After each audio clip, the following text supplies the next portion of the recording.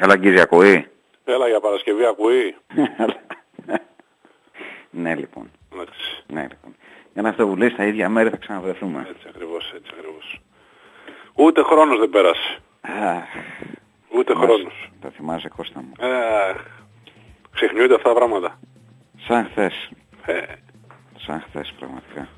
Ήτανε που το θυμάμαι. Πόσο έχει περάσει το Μάιο νομίζω το κάναμε. ε, το Μάιο, ναι, το Μάρτιο ξεκίνησε πέρυσι όλο το σκηνικό. Ναι. Εμείς, ναι, κάποια στιγμή. Νο- Νομίζω τον Απρίλιο πρέπει να ήμασταν από τα σπίτια μας. Μάρτιο και Απρίλιο. Μέχρι το Ναι. Μάιο. Ναι, Μέχρι, ναι, όσο, μέχρι όσο πήγε η, Ναι. η δουλειά. Ναι. Λοιπόν, εντάξει, φαντάζομαι ότι ο κόσμος έχει ενημερωθεί ε, για το λόγο για τον οποίο είμαστε στο τηλέφωνο. Μμμ. Ε, εντάξει, για να μην ε, παραξενεύονται ενδεχομένως. Δεν νομίζω ότι μπορεί κάτι να παραξενέψει πια τον κόσμο στη σημερινή Α- ημέρα. Αλήθεια, σωστό. Ναι. Σωστό.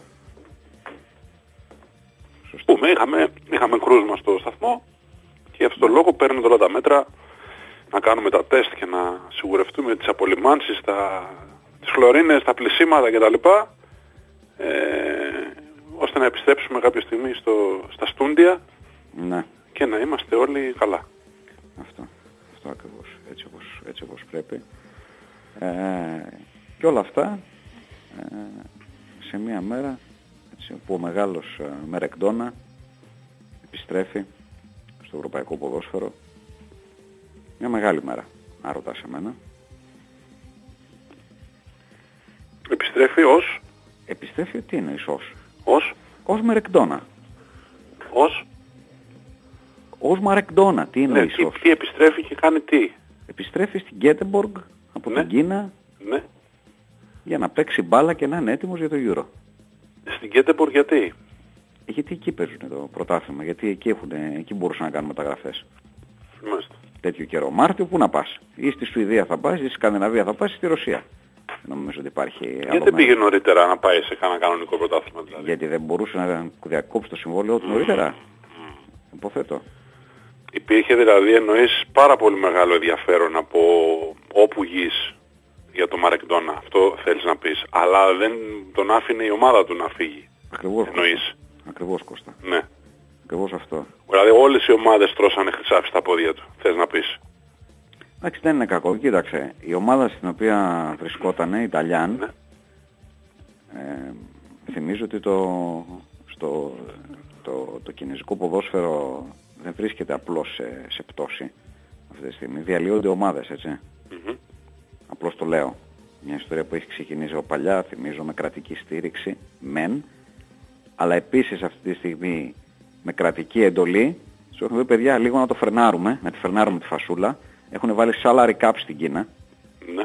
το να θυμίσω και το salary cap όπως καταλαβαίνεις δυσαρέστησε διάφορο κόσμο. Δεν μπορούσαν πια να φέρνουν 500 ξένους με τρελά λεφτά. Οπότε εντάξει γίνανε όλα λίγο πιο ελεγχόμενα. Δεν ξέρω αν αυτό του φταίει του, του Μαρεκτόνα το... Εντάξει, έχουν ξαναγίνει αυτά στην Κίνα, θυμίζω, έτσι. Την πρώτη φάση στην Κίνα που έγινε το μεγάλο, η μεγάλη μάζοξη για τα ακριβά συμβόλαια, ε, ήρθε μετά η κατάρρευση των κατασκευαστικών εταιριών, οι οποίες Σωστά. ήταν οι χρηματοδότες του πρωταθλήματος και φύγαν αρωνάρων εκείνη η πρώτη φουρνιά. Πολύ σωστά. Πολύ σωστά. Αυτή είναι η Φαντάζομαι, δεύτερη. Λοιπόν, ναι, φαντάζομαι λοιπόν ότι πλέον οι παίκτες οι οποίοι πηγαίνουν στην Κίνα παίρνουν τα λεφτά τους μπροστά ή ένα σημαντικό μέρος των χρημάτων μπροστά για να μην ρισκάρουν ε, τέτοια παρατράγουδα γιατί τότε αρκετοί παίκτες χάσαν τα χρήματά τους. Ναι. Οπότε σου λέει, ξέρω εγώ, φέρ τα μισά μπροστά ή ξέρω εγώ ένα μέρος μεγάλο από τα χρήματα, ώστε να είμαστε όλοι σίγουροι ότι δεν θα γίνει καμία στραβή. Κάπως έτσι. Και Κάπως έτσι. λογικό το βρίσκω. Ναι, ναι, ναι. Πολύ λογικό. Πολύ λογικό. Οπότε, τώρα δεν ξέρω, κοίταξε από θέμα επένδυσης, η Νταλιάν είχε δώσει 13 εκατομμύρια ευρώ στη, Ναι. στην Νάπολη για να πάρει, τον, ε, για να πάρει το Χάμσικ στα 32 του Ναι, ε, και πρόλαβε και έγραψε 45 παιχνίδια. ναι. Τα λες μια καλή επένδυση αυτά τα 13 εκατομμύρια ευρώ. Έτσι και αυτά, τα- αυτά μιλάμε μόνο για τη μεταγραφή. Πολύ λίγα. Πολύ λίγα. Ναι. Δηλαδή 45 περι- πόσα θες να παίξει ακριβώς; Δηλαδή για 13 εκατομμύρια που δίνεις τι ακριβώς περιμένεις από τον Μάρεκ το Χάμσικ; Τι ήθελες να κάνει δηλαδή ο Μάρεκ ο Χάμσικ; Ναι. για σένα. Να το πω ανάποδα εσύ τι έκανες για τον Μάρεκ το Χάμσικ. Εκτός από αυτά τα τα 13 εκατομμύρια ας πούμε; Αν ρωτάς σε μένα τι έκανα, τον έχω αποθεώσει πάρα πολλές φορές. Είναι από τους αγαπημένους μου ε, απατεώνες. Πολύ σωστά. Ναι, εγώ έχω κάνει πολλά πράγματα. Τον έχω διαφημίσει με τον τρόπο μου γιατί και η δυσφήμιση διαφήμιση είναι. Από τους αγαπημένους σου μεσοεπιθετικούς είπες Κώστα, έτσι, αν άκουσα καλά. Ε, είναι, και το, βεβαίως, είναι και το τηλέφωνο. Δεν ξέρω αν είχε παράσει, ήταν, ε, δεν ξέρω αν άκουσες κάτι διαφορετικό, ξέρω εγώ τη λέξη απατεώνας. Μμμ, μμμ. Ε, μεσοεπιθετικός θέλω να πω. Βεβαίως μεσοεπιθετικός. Ναι. βέβαια, μεσοεπιθετικός. Λοιπόν, οπότε και για σένα, ναι, εκεί είναι ο ανέσταρος εκεί βεβαίως. Μμμ. Βεβαίως και είναι ο, ο ανέσταρος ε, εκεί πέρα ε, και θα γίνει μια μεγάλη, μια σπουδαία ομάδα πλέον. Και ο Μάρεκο Χάμσικ για σένα και για όλους τους φίλους του πλέον ε, έρχεται για να προπονηθεί και να είναι έτοιμος, πανέτοιμος για το, ε, για το καλοκαιρινό Euro. Το, την εθνική του ομάδα τη ρωτήσανε. Τι εννοείς; Εκφράζω Είναι η μια εθνική απορία. του ομάδα. Ορίστε. Είναι, είναι η εθνική του ομάδα. Ναι, το, την ρωτήσανε αν τον θέλουν να τον πάρουνε. Ε, φαντάζομαι. Δεν μπορεί να έχει γίνει διαφορετικά. Δεν ξέρω γιατί υπάρχουν διάφοροι παίκτες κατά καιρούς που αυτό προτείνονται που λένε εγώ θα επιστρέψω ή εγώ θα πάω ή τώρα που έχουμε τη μεγάλη διοργάνωση και θα ηγηθώ και διάφορα τέτοια πράγματα υπάρχουν πολλοί που το κάνουν χωρίς να έχουν ρωτήσει προπονητές κλπ. κλπ. Συγγνώμη, γιατί έχει φύγει ο... έχει δηλώσει ότι αποσύρεται ο Μάρκο Χάμις από τη Σλοβακία ποτέ; Νομίζω. Έχει δηλώσει ότι έχει φύγει ποτέ από το ποδόσφαιρο; Κι όμως. Ενώ κάποια πράγματα χρειάζεται να τα πεις. Ο ήλιος έχει δηλώσει ότι βγαίνει κάθε πρωί από την Ανατολή, δηλαδή χρειάζεται να το δηλώσει; Ναι, σωστό.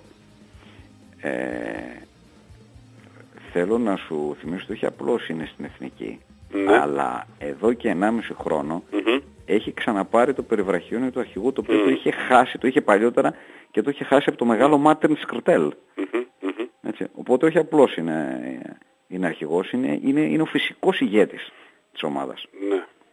Ναι, παιδιά, 300 χιλιάρικα το παιχνίδι.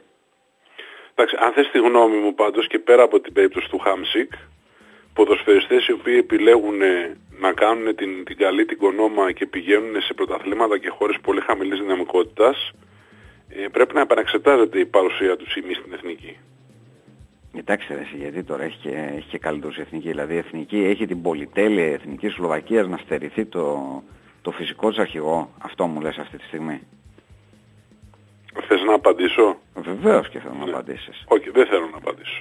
Βεβαίως και θέλω να απαντήσεις. Συζήτηση Εγώ θέλω να κάνουμε. πω ότι την ώρα που άλλοι παίκτες ας πούμε σπάνε τα γόνατά τους και παίζουν σε κανονικά πρωταθλήματα της Ευρώπης Ναι. ε, είναι σε καλύτερο σημείο ανταγωνιστικότητας και κατάστασης γενικότερης από έναν παίκτη ο οποίος Ναι, αλλά πάει ποιοι και κάνει- είναι τώρα, για ποιους μιλάμε, για τον Ρόμπερτο Μακ μιλάμε αυτή τη στιγμή; Και, γιατί ο Ρόμπερτο Μάκ τι έχει, χολέρα έχει. δηλαδή, Όχι, ο Ρόμπερτο ρωτάω, Μάκ. ρωτάω τι να μου έχει πεις ο Ρόμπερτο ποιος; Μάκ Ο δηλαδή. Σκρίνιαρ ποιος ρε παιδί μου, Γιατί για ποιον δηλαδή; μιλάμε; Υπάρχει καλύτερη περίπτωση παίκτη που έχει όνομα επίπλου; Αλήθεια είναι αυτό. Γιατί να είναι εκτός ο Σκρίνιακ ας πούμε; Εγώ, εμένα η ερώτησή μου, αν θες να φτάσουμε εκεί, είναι το ερώτημα μου γιατί ο Σκρίνιαρ λέγεται Μίλαν και παίζει στην Ίντερ. Ναι. Αλλά, αλλά εντάξει, αυτό είναι ένα... Και έβαλε και τον γκολ. Αυτός δεν έβαλε τον γκολ χθες με την Αταλάντα; Ε, δεν το έχω αυτό, δεν το θυμάμαι. Νομίζω πως ναι από ό,τι είδα. Δηλαδή ένας παίκτης που λέγεται Μίλαν ας πούμε θα δώσει πρωτάθλημα στην Ίντερ και θα το κόψει από τη Μίλαν. Ναι, Ε, τρομερά πράγματα. Ναι, τρομερά πράγματα. Τρομερά πράγματα. Πραγματικά. Τέλος πάντων. Εντάξει. Εν πάση περιπτώσει, ε, νομίζω ότι έπρεπε να το αναφέρουμε γιατί αθλητικά εντάξει μπορεί να γίνονται τώρα παιχνίδια, μπορεί να έχουμε Champions League εδώ πέρα και διάφορα, αλλά οκ, αυτή είναι μια, μια επιστροφή η οποία συγκλονίζει το, ε, το παγκόσμιο ποδόσφαιρο. Δεν γνωρίζω αν βλέπεις τα παιχνίδια, εγώ δεν, δεν τα παρακολουθώ. Πρέπει Δεν να τα πούμε- βλέπω τώρα, έχω κάτσει γιατί την άλλη φορά ε, διέκρινα μια δυσαρέσκεια που εγώ βλέπα τα παιχνίδια και σε διαβάζα τα μηνύματα, οπότε έχω κάτσει στον υπολογιστή για να βλέπω τα μηνύματα. Όχι, ναι, αν θες μπορείς να τα δεις. Αν νομίζεις ότι για την ενημέρωση πρέπει να τα δούμε, μπορεί να τα βλέπει ο Παναγιώτης Δρύλος σε κάθε Ναι. περίπτωση και να, και να ενημερώνει. Το σίγουρο είναι ότι είναι 0-0 και τα δύο. Έτσι, θυμίζουμε ότι η Juventus προσπαθεί να ανατρέψει το εις βάρος 2-1, της ε, 2-1 και η Dortmund να υπερασπιστεί το, το υπέρ της 3-2 από τον πρώτο αγώνα απέναντι Ναι. στη, στη Σεβίλη. Ε, Εκεί είμαστε, μέχρι στιγμής παίζουμε περίπου 18 λεπτά και στα δύο παιχνίδια και δεν έχουμε γκολ, αλλά δεν έχουμε, ε, δεν έχουμε εικόνα του, Ναι. ε, δεν έχουμε εικόνα του, του παιχνιδιού. Ε, φαντάζομαι αν γίνει κάτι σημαντικό, ο Παναγιώτης Ορέλος που είχε και το μικρόφωνο μπροστά θα μας ενημερώσει. Βεβαίως, Αν είναι κάτι που το, θα το χάσουμε. βεβαίως, βεβαίως.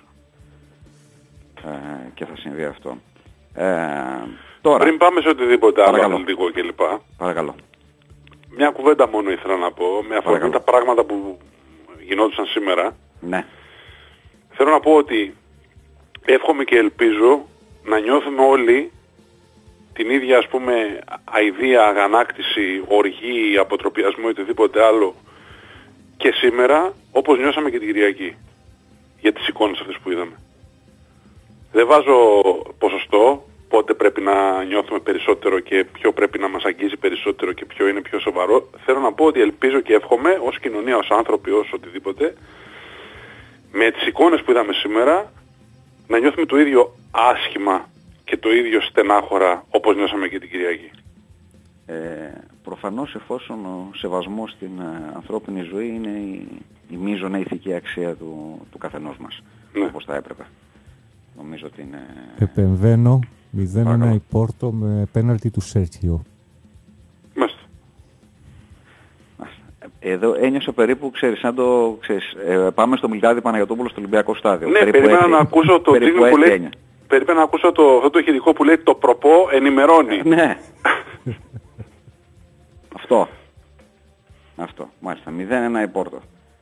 Εντάξει. Δύσκολα τα πράγματα. Ε, Τίποτα, αυτό ήθελα να, να ναι, πω μόνο. Ναι, Πέρα ναι. από, ξέρεις, οτιδήποτε ας πούμε, ε, ξέρεις, απόψεις των άκρων οι οποίες με αφήνουν παγερά διάφορο, όποιο άκρο και αν είναι, θέλω να, να πιστεύω ότι ως άνθρωποι που είδαμε ένα σκηνικό τέτοιο, ένα σκηνικό απόλυτης βίας ας πούμε απέναντι σε έναν άνθρωπο, να νιώθουμε την ίδια αγανάκτηση, οργή και στενοχώρια και οτιδήποτε άλλο μπορεί να νιώθει κανείς βλέποντας με την ίδια εικόνα, όπως και την, ε, την Κυριακή. Δεν, δεν, δεν αρμόζει σε μια κοινωνία που θέλει να λέγεται δημοκρατική, δυτική ή οτιδήποτε άλλο θέλει να το πει κανείς εικόνες ούτε της Κυριακής ούτε σημερινές. Εκεί είναι το, ναι, εκεί είναι το πρόβλημα. Ε, εντάξει, η σημερινή επίθεση ήταν ε, διπλά φλιβερή, διότι ήταν και άνανδρη, ήταν επίθεση από πίσω. Ε, επειδή νομίζω ότι είδες και το βίντεο. Είδα, ναι, το είδα. Το είδα. Ε, νο, νομίζω ότι έχει τη σημασία αυτό. Δεν, έχει, δεν νομίζω ότι δεν πρέπει να το αξιολογήσουμε επειδή έγινε μέσα σε ένα χάος. Η άνανδρη επίθεση είναι μια άνανδρη επίθεση. Έτσι. μια άνανδρη επίθεση είναι μια επίθεση, ξέρω εγώ, 20 ατόμων με κλωτσιές στο κεφάλι. Είναι μια δολοφονική επίθεση πραγματικότητα αυτή. Αλλά δεν θέλω να βάλουμε, ξαναλέω, ναι, όχι, στη ζυγαριά ε, τι έγινε την Κυριακή. Είναι πράγματα θλιβερά και το ένα και το άλλο και πράγματα τα οποία κάνουν το στομάχι να σφίγγεται και πράγματα τα οποία πρέπει να καταδικάζονται και πράγματα τα οποία πρέπει να μας προκαλούν, όχι πρέπει, φαντάζομαι ότι μας προκαλούν σε όλους τα ίδια συναισθήματα, ας πούμε, ε, οργής, στενοχώριας, απογοήτευσης ή οτιδήποτε άλλο, ας πούμε, αντίστοιχο. Ε, Για εμένα τουλάχιστον. Προφανώς. Ε, και αφού το λες χωρίς να αναφερθώ περισσότερο, γιατί δεν θέλω, γιατί μετά θα ασχοληθούμε μόνο με μηνύματα, θα ήθελα να πω απλά ότι ε, επειδή ακριβώς η, η, η βία δεν λύνεται με βία, ούτε η κρατική βία λύνεται με τραμπούκικη βία, ούτε η τραμπούκικη βία λύνεται με κρατική βία, καμία βία δεν λύνεται με βία γενικώς, ε, παρά μόνο σε απολύτως ακραίες καταστάσεις όπως έχει δείξει η ιστορία, αλλά η βία φέρνει βία, όπως ακριβώς έχει δείξει επίσης η ιστορία, θα ήθελα να πω ότι αυτός ο φαύλος κύκλος είναι δεδομένο ότι θα συνεχιστεί ναι. όταν η, η, η κυβερνητική αντίδραση έρχεται μόνο στη μία πλευρά. Αυτό θέλω να πω. Συμφωνώ απόλυτα. Σε αυτό που λες συμφωνώ απόλυτα. Δεν είναι έτσι. Είναι, είναι τελείως λάθος αυτό το μήνυμα. Είναι τελείως λάθος γιατί το ένα είναι συνέχεια του άλλου. Υπάρχει μια συνέχεια και μάλιστα ημερών δεν υπάρχει και μεγάλη χρονική απόσταση. Οπότε αυτό, εγώ αυτό, ε, αυτό λέω μαζί με όλα τα προηγούμενα που είπαμε. Ωραία. Λοιπόν, σταματάμε εδώ. Σταματάμε εδώ. Και δεν θα μας κουρδίσετε να ξέρετε το ναι, λέω γιατί είμαι εδώ και διαβάζω και εγώ τα μηνύματα. Όχι, δεν ναι, θα ναι, κουρδιστούμε. Όχι, όχι, όχι. Εμείς θα πούμε αυτά που θέλουμε να πούμε. Ούτε Εσείς... τσιτάτα, ούτε τσιτάτα θα ναι. πούμε μας, ούτε, ούτε ατάκες. Είμαστε πάρα πολύ προσεκτικοί. Και κατά τα άλλα τα έχουμε πει παιδιά, ο καθένας όσο νογάει και ό,τι καταλαβαίνει. Εντάξει. Εμείς λέμε αυτά που λέμε. Εσείς αυτά που θέλετε ναι. να πείτε ή αυτά που πιστεύετε. Αλλά όχι να ερμηνεύετε αυτά που λέμε εμείς. Ναι, ναι. Εντάξει. Λοιπόν, αυτά. Εντάξει. Αυτά. Λοιπόν, ε, πάμε παρα- Ναι. OK. OK. Λοιπόν, σταματάμε. Δεν, δεν... Σταματάμε. Ε, Το συγγνώμη, τώρα είδα τα μηνύματα. Ναι. Οκ. Μάλιστα. Μάλιστα.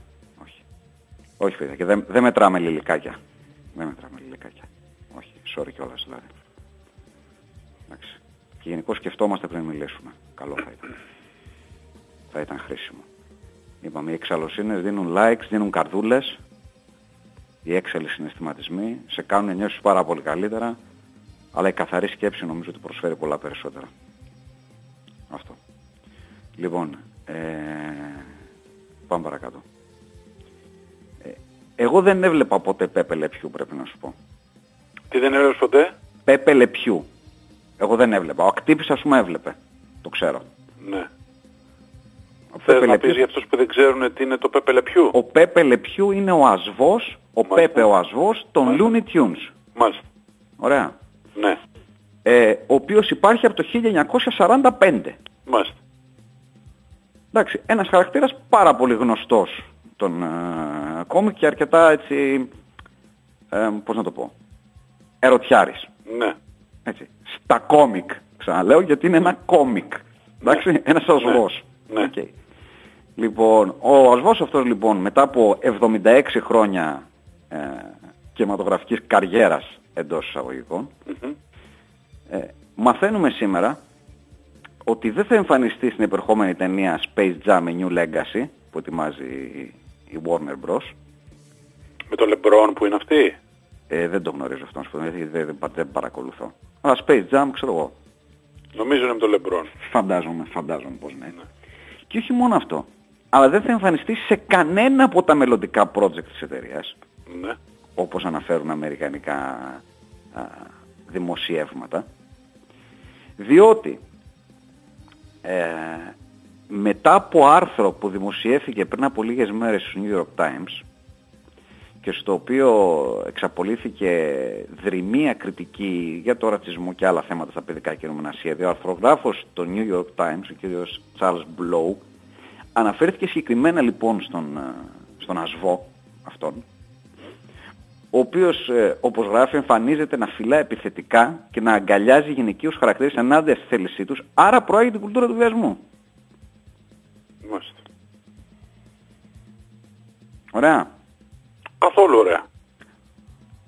Ε, άρχισαν, άρχισε να γίνεται μια συζήτηση εκπληκτική όπου δείχνανε αποσπάσματα από τα καρτούν.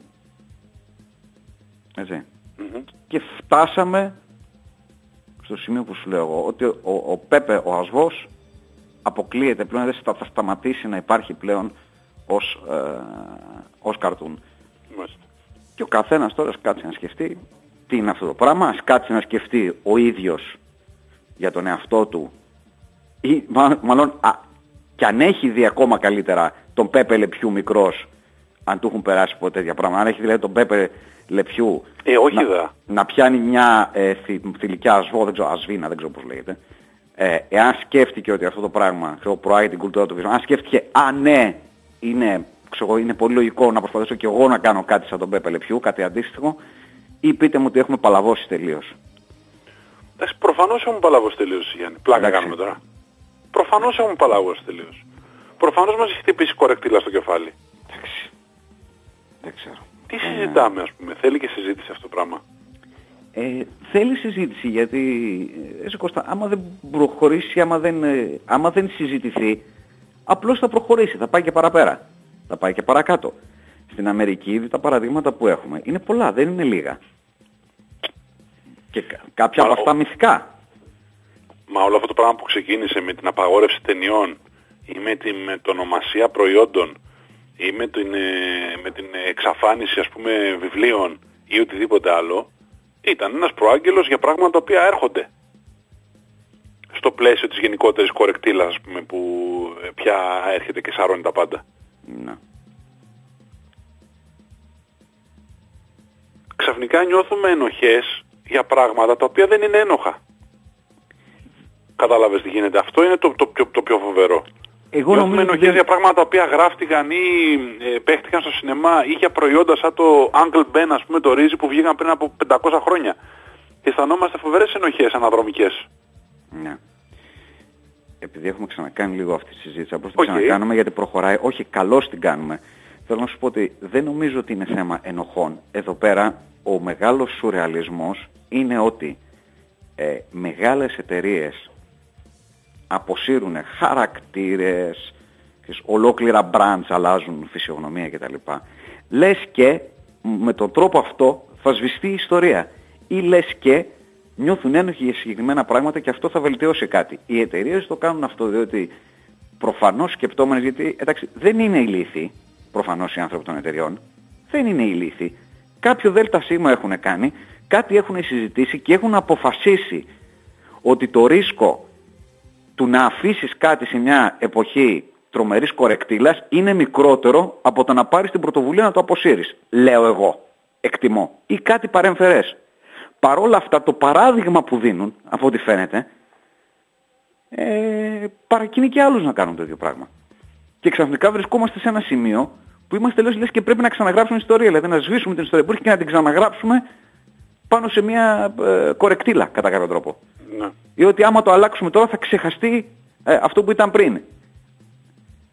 Δηλαδή σβήνοντας ένα συμβολισμό παλαιότερο ή μια τυχαία τέτοια εικόνα, τι κάνουμε ακριβώς; Τι κάνουμε στην πραγματικότητα δηλαδή; Ποιο είναι το, ποιο είναι το επίδικο εδώ πέρα; Εγώ νομίζω ότι αυτά γίνονται μόνο σε περίοδους μαζικής ιστερίας, Κώστα του κόσμου. Ναι. Όταν ένα πράγμα γίνεται ιστερία. Γίνεται, πώς να σου πω, δόγμα. Κατά κάποιο τρόπο. Και ακολουθείται, ξέρεις, με, με, πώς να σου πω, σχεδόν με, δεν ξέρω, μανιωδώς σε πάση από τον κόσμο. Όταν ο κόσμος είναι ιστερικός, τότε γίνονται πράγματα. Αλλά πού αποσκοπούν αυτά τα πράγματα. Διαβάζω εδώ τώρα, διαβάζω εδώ τώρα ναι. σε, ένα, σε ένα σχετικό άρθρο που είχε ανέβει στο sport24.gr ναι. λέει ότι η απόφαση να μην συμπεριληφθεί ο συγκεκριμένος χαρακτήρας στη δεύτερη ταινία, αυτή ναι. που λέμε το, το Space Jam με τον, ε, ε, με τον LeBron, ναι. έχει ληφθεί από το 2019 με ναι. τη δημιουργό της ταινίας να κόβει τη συγκεκριμένη φιγούρα και την παραγωγή της ταινίας να μην θέλει να δώσει τέτοιου είδους παραδείγματα στις νεαρές ηλικίες που θα παρακολουθεί στο Space Jam.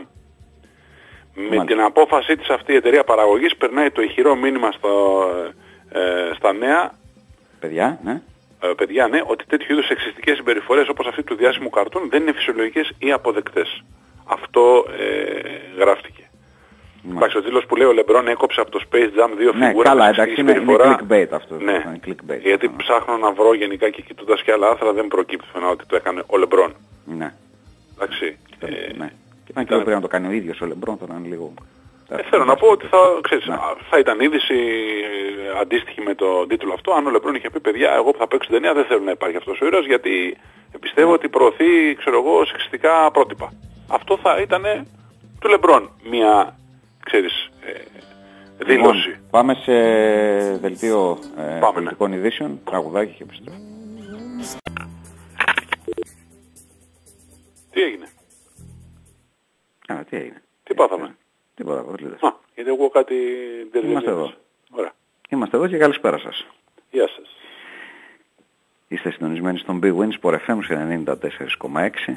Ακούτε την α, εκπομπή Fight Club. Θα είμαστε παρέα μέχρι τα μεσάνυχτα. Στη ρύθμιση των ήχων και τις μουσικές επιλογές είναι ο Παναγιώτης Ρήλος. Ε, επειδή δεν άκουσα τα ακούσαμε πριν, νομίζω πρέπει να ακούσαμε YouTube. Ναι, YouTube. Where the streets have no name. Ωραία. Ναι. Ε, να πούμε λοιπόν για τον Παναγιώτη το Ρήλο και για τους YouTube. Ε, μάλλον όχι, ας το, το πω, να το πω μετά την εισαγωγή. Για το, γιατί αξίζει νομίζω και τη δική του κουβέντα. Ο Κώστας Μιόλης είναι στην οργάνωση και επιμέλεια παραγωγής. Τα μηνύματά σας φτάνουν ως το σταθμό και την εκπομπή με τους εξής τρόπους. Από το κινητό σας γραφτέ Super, αφήνετε ένα διάστημα το μήνυμά σας. Αποστολή 19 και 19 το ευρώ η χρέωση ένα μήνυμα. Ιντερνετικά μπαίνετε στο sportfm.gr και κλικάρετε στο πάνω μέρος της κεντρικής σελίδας, εκεί που λέει ραδιόφωνο live. Ανοίγει ο Media Player, μαζί του μια φόρμα, μπαίνετε, γράφετε, στέλνετε αυτό που θέλετε να μας πείτε. Υπενθυμίζω ότι η φόρμα αυτή έχει περιορισμό 200 χαρακτήρων ανά μήνυμα, οπότε αν θέλετε να στείλετε κάτι μεγαλύτερο, ή το κόβετε σε περισσότερα του ενός ε, μηνυμάτων, ή μας στέλνετε με mail στο ράμα για 05.yahoo.gr. Από εκεί και πέρα fightclub2.0 για να μας βρείτε στο facebook, να μας βρείτε στο youtube, στο Google Play Store και το, ή το App Store για να βρείτε και να κατεβάσετε δωρεάν το application της εκπομπής. Fight Club 2001 αν θέλετε να μας βρείτε στο Instagram όλο μαζί μία λέξη και βεβαίως fightclub.gr για τους φιλόμαθείς. Κώστας Βαϊμάκης, Γιάννης Σαούσης είναι στα μικρόφωνα και ε, έλεγα ότι ακούσαμε YouTube, για να ακριβά ακούσαμε YouTube, ακούσαμε ε, YouTube από τον Joshua Tree, διότι σαν σήμερα το 1987 κυκλοφορούσε το Joshua Tree. Το περίφημο Joshua Tree. Ε, για τους, ε, πώς να σου πω, για τους φανατικούς των, ε, ε των YouTube δεν είναι το καλύτερο άλμπουμ τους. Ναι. Για μας που το πετύχαμε σε μια τρυφερή ηλικία να το πω έτσι, ε, είναι, ένα, είναι ένα πολύ σημαντικό άλμπουμ. Δηλαδή για μένα, όντως, όταν, ξέρεις, έχονται στο μυαλό μου η YouTube, το πρώτο που έρχεται στο μυαλό μου είναι το Joshua 3. Ναι. Φαντάζομαι και για σένα. Ε, ναι, εντάξει. Είναι το πιο εμπορικό, ενδεχομένως ναι. Είναι κακό αυτό, ίσως όχι. Ε, καλή ερώτηση. Δεν γνωρίζω αν είναι το πιο εμπορικό. Να σου πω. Ρε παιδί μου, δεν λέω από απολύσει. Σαν μουσικό ύφος εννοώ είναι το πιο εμπορικό. Είναι το πιο mainstream ενδεχομένως το πράγμα που κάνουν. Ε, δεν είναι απαραίτητα κακό αυτό.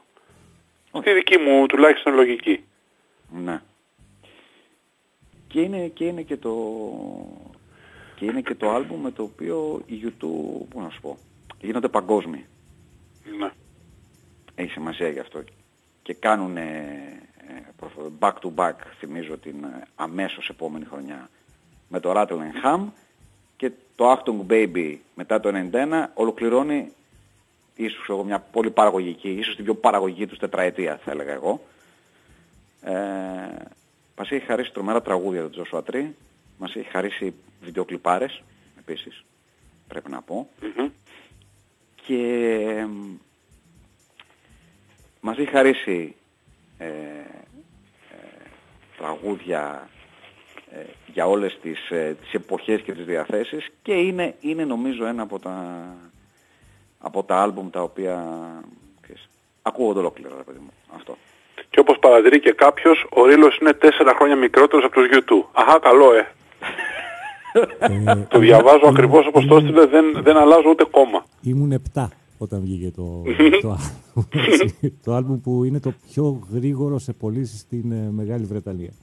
Τι εννοείς Παναγιώτη, ε, είναι ναι, γρήγορο σε πωλήσεις; Από τη στιγμή που βγήκε στις προθήκες, ε, ξεπούλησε πιο γρήγορα από οποιοδήποτε άλλο άλμπουμ, να το πούμε έτσι. Στη Μεγάλη Βρετανία; Fast selling, ναι. Θυμάστε τι ωραία που ήταν τότε που τα άλμπουμ βγαίναν στα δισκοπολία ναι, και είναι, σαν, έξω και τέτοια, ναι. είναι σαν να έχουν περάσει από τότε αιώνες. Ναι, αιώνες σαν να έχουν περάσει από τότε που τα άλμπουμ δεν βγαίνανε, ξέρεις, στο YouTube ή σε, μέσα σε εφημερίδες, ας πούμε, σαν ε, δώρο εφημερίδων να. ή, ξέρω εγώ, σε πλατφόρμες συγκεκριμένες κτλ. Βγαίνανε στα δισκοπολία. Και περίμενες να βγουν στα δισκοπολία να πάει να πάρεις το άλμπουμ το οποίο το περίμενες πώς και τι. Ξεκάθαρα. Αυτό το πώς και τι νομίζω ότι είναι όλοι Σας αφήνω λέγοντας ότι η Μπουρούση άνοιξε το σκορ στο 35. Ναι, με το χάλα. Ναι. Τι περίεργο. Πραγματικά τι περίεργο. Τι ναι, έκπληξη. Γιατί υπήρχαν δισκάδικα, όσο απίθανο και αν ακούγεται ναι, αυτό αυτή τη υπήρχαν Δισκάδικα. Υπήρχαν δισκάδικα. Δηλαδή έφυγες από το σπίτι σου και έπρεπε να κατέβεις εγώ στο κέντρο της Αθήνας και εντάξει νοικιακά δισκάδικα υπήρχαν. Αλλά αν ήθελες να πας, είχες χαρτζιλίκι πραγματικά και ήθελες να πάρεις δίσκους, έπρεπε να κατέβεις στο κέντρο της Αθήνας. Το πιο τρομερό δεν είναι ότι αισθανόμαστε σαν να έχει περάσει από εκείνη την εποχή, ας πούμε, 500 χρόνια. Κάπου τόσα έχουν περάσει. Ναι. Τέλος πάντων. Κάπου τόσα έχουν περάσει. Ε, θέλω να συμπληρώσω με αφορμή ότι το, το βινίλιο ξαν, έχει ξαναγυρίσει εδώ ναι. χρόνια στη μόδα ότι με χαροποιεί ξέρεις, πολύ περισσότερο από το να ξαναγυρίζει κασέτα οτιδήποτε άλλο όχι από ρετρολαχνική διάθεση αλλά διότι νομίζω ότι εκτιμάται ε, στο βινίλιο η, η όλη του καλλιτεχνία, να το πω έτσι. Ότι δεν ήταν απλώς ότι έπαιρνες κάτι για να το ακούσεις πίσω. Δεν παίρνεις ένα δίσκο που από μόνος του, ξέρεις, είναι ένα ωραίο πράγμα, με ένα μεγάλο εξώφυλλο το οποίο μπορούσες να το κάνεις και διακόσμηση στο δωμάτιό σου κατά κάποιο τρόπο. Και είναι ωραίο ρε παιδί μου. Είναι ωραίο. Κάποιοι δίσκες ήταν πολύ ωραίοι, πολύ φροντισμένοι, πολύ όμορφοι. ήταν σαν να παίρνεις ένα μικρό πίνακα. Οι ωραιότεροι εξ αυτών. Όσοι έχουμε ακόμα κρατημένους δίσκους το ξέρουμε. Το συγκεκριμένο πράγμα. Ισχύει, ισχύει. Ισχύει. Και ήταν ωραίο. Και, ήταν ωραίο. και ακόμα καλύτερα όταν είχαν εκτόσεις. Γιατί τώρα λέτε, ανοίγω, τι θέλετε να ακούσουμε παιδιά, έλα πάμε καρά, μετά ό,τι γουστάρετε πάλι, ό,τι θέλετε, ρε, τα βάζω εδώ, τα έχω στο χέρι μου.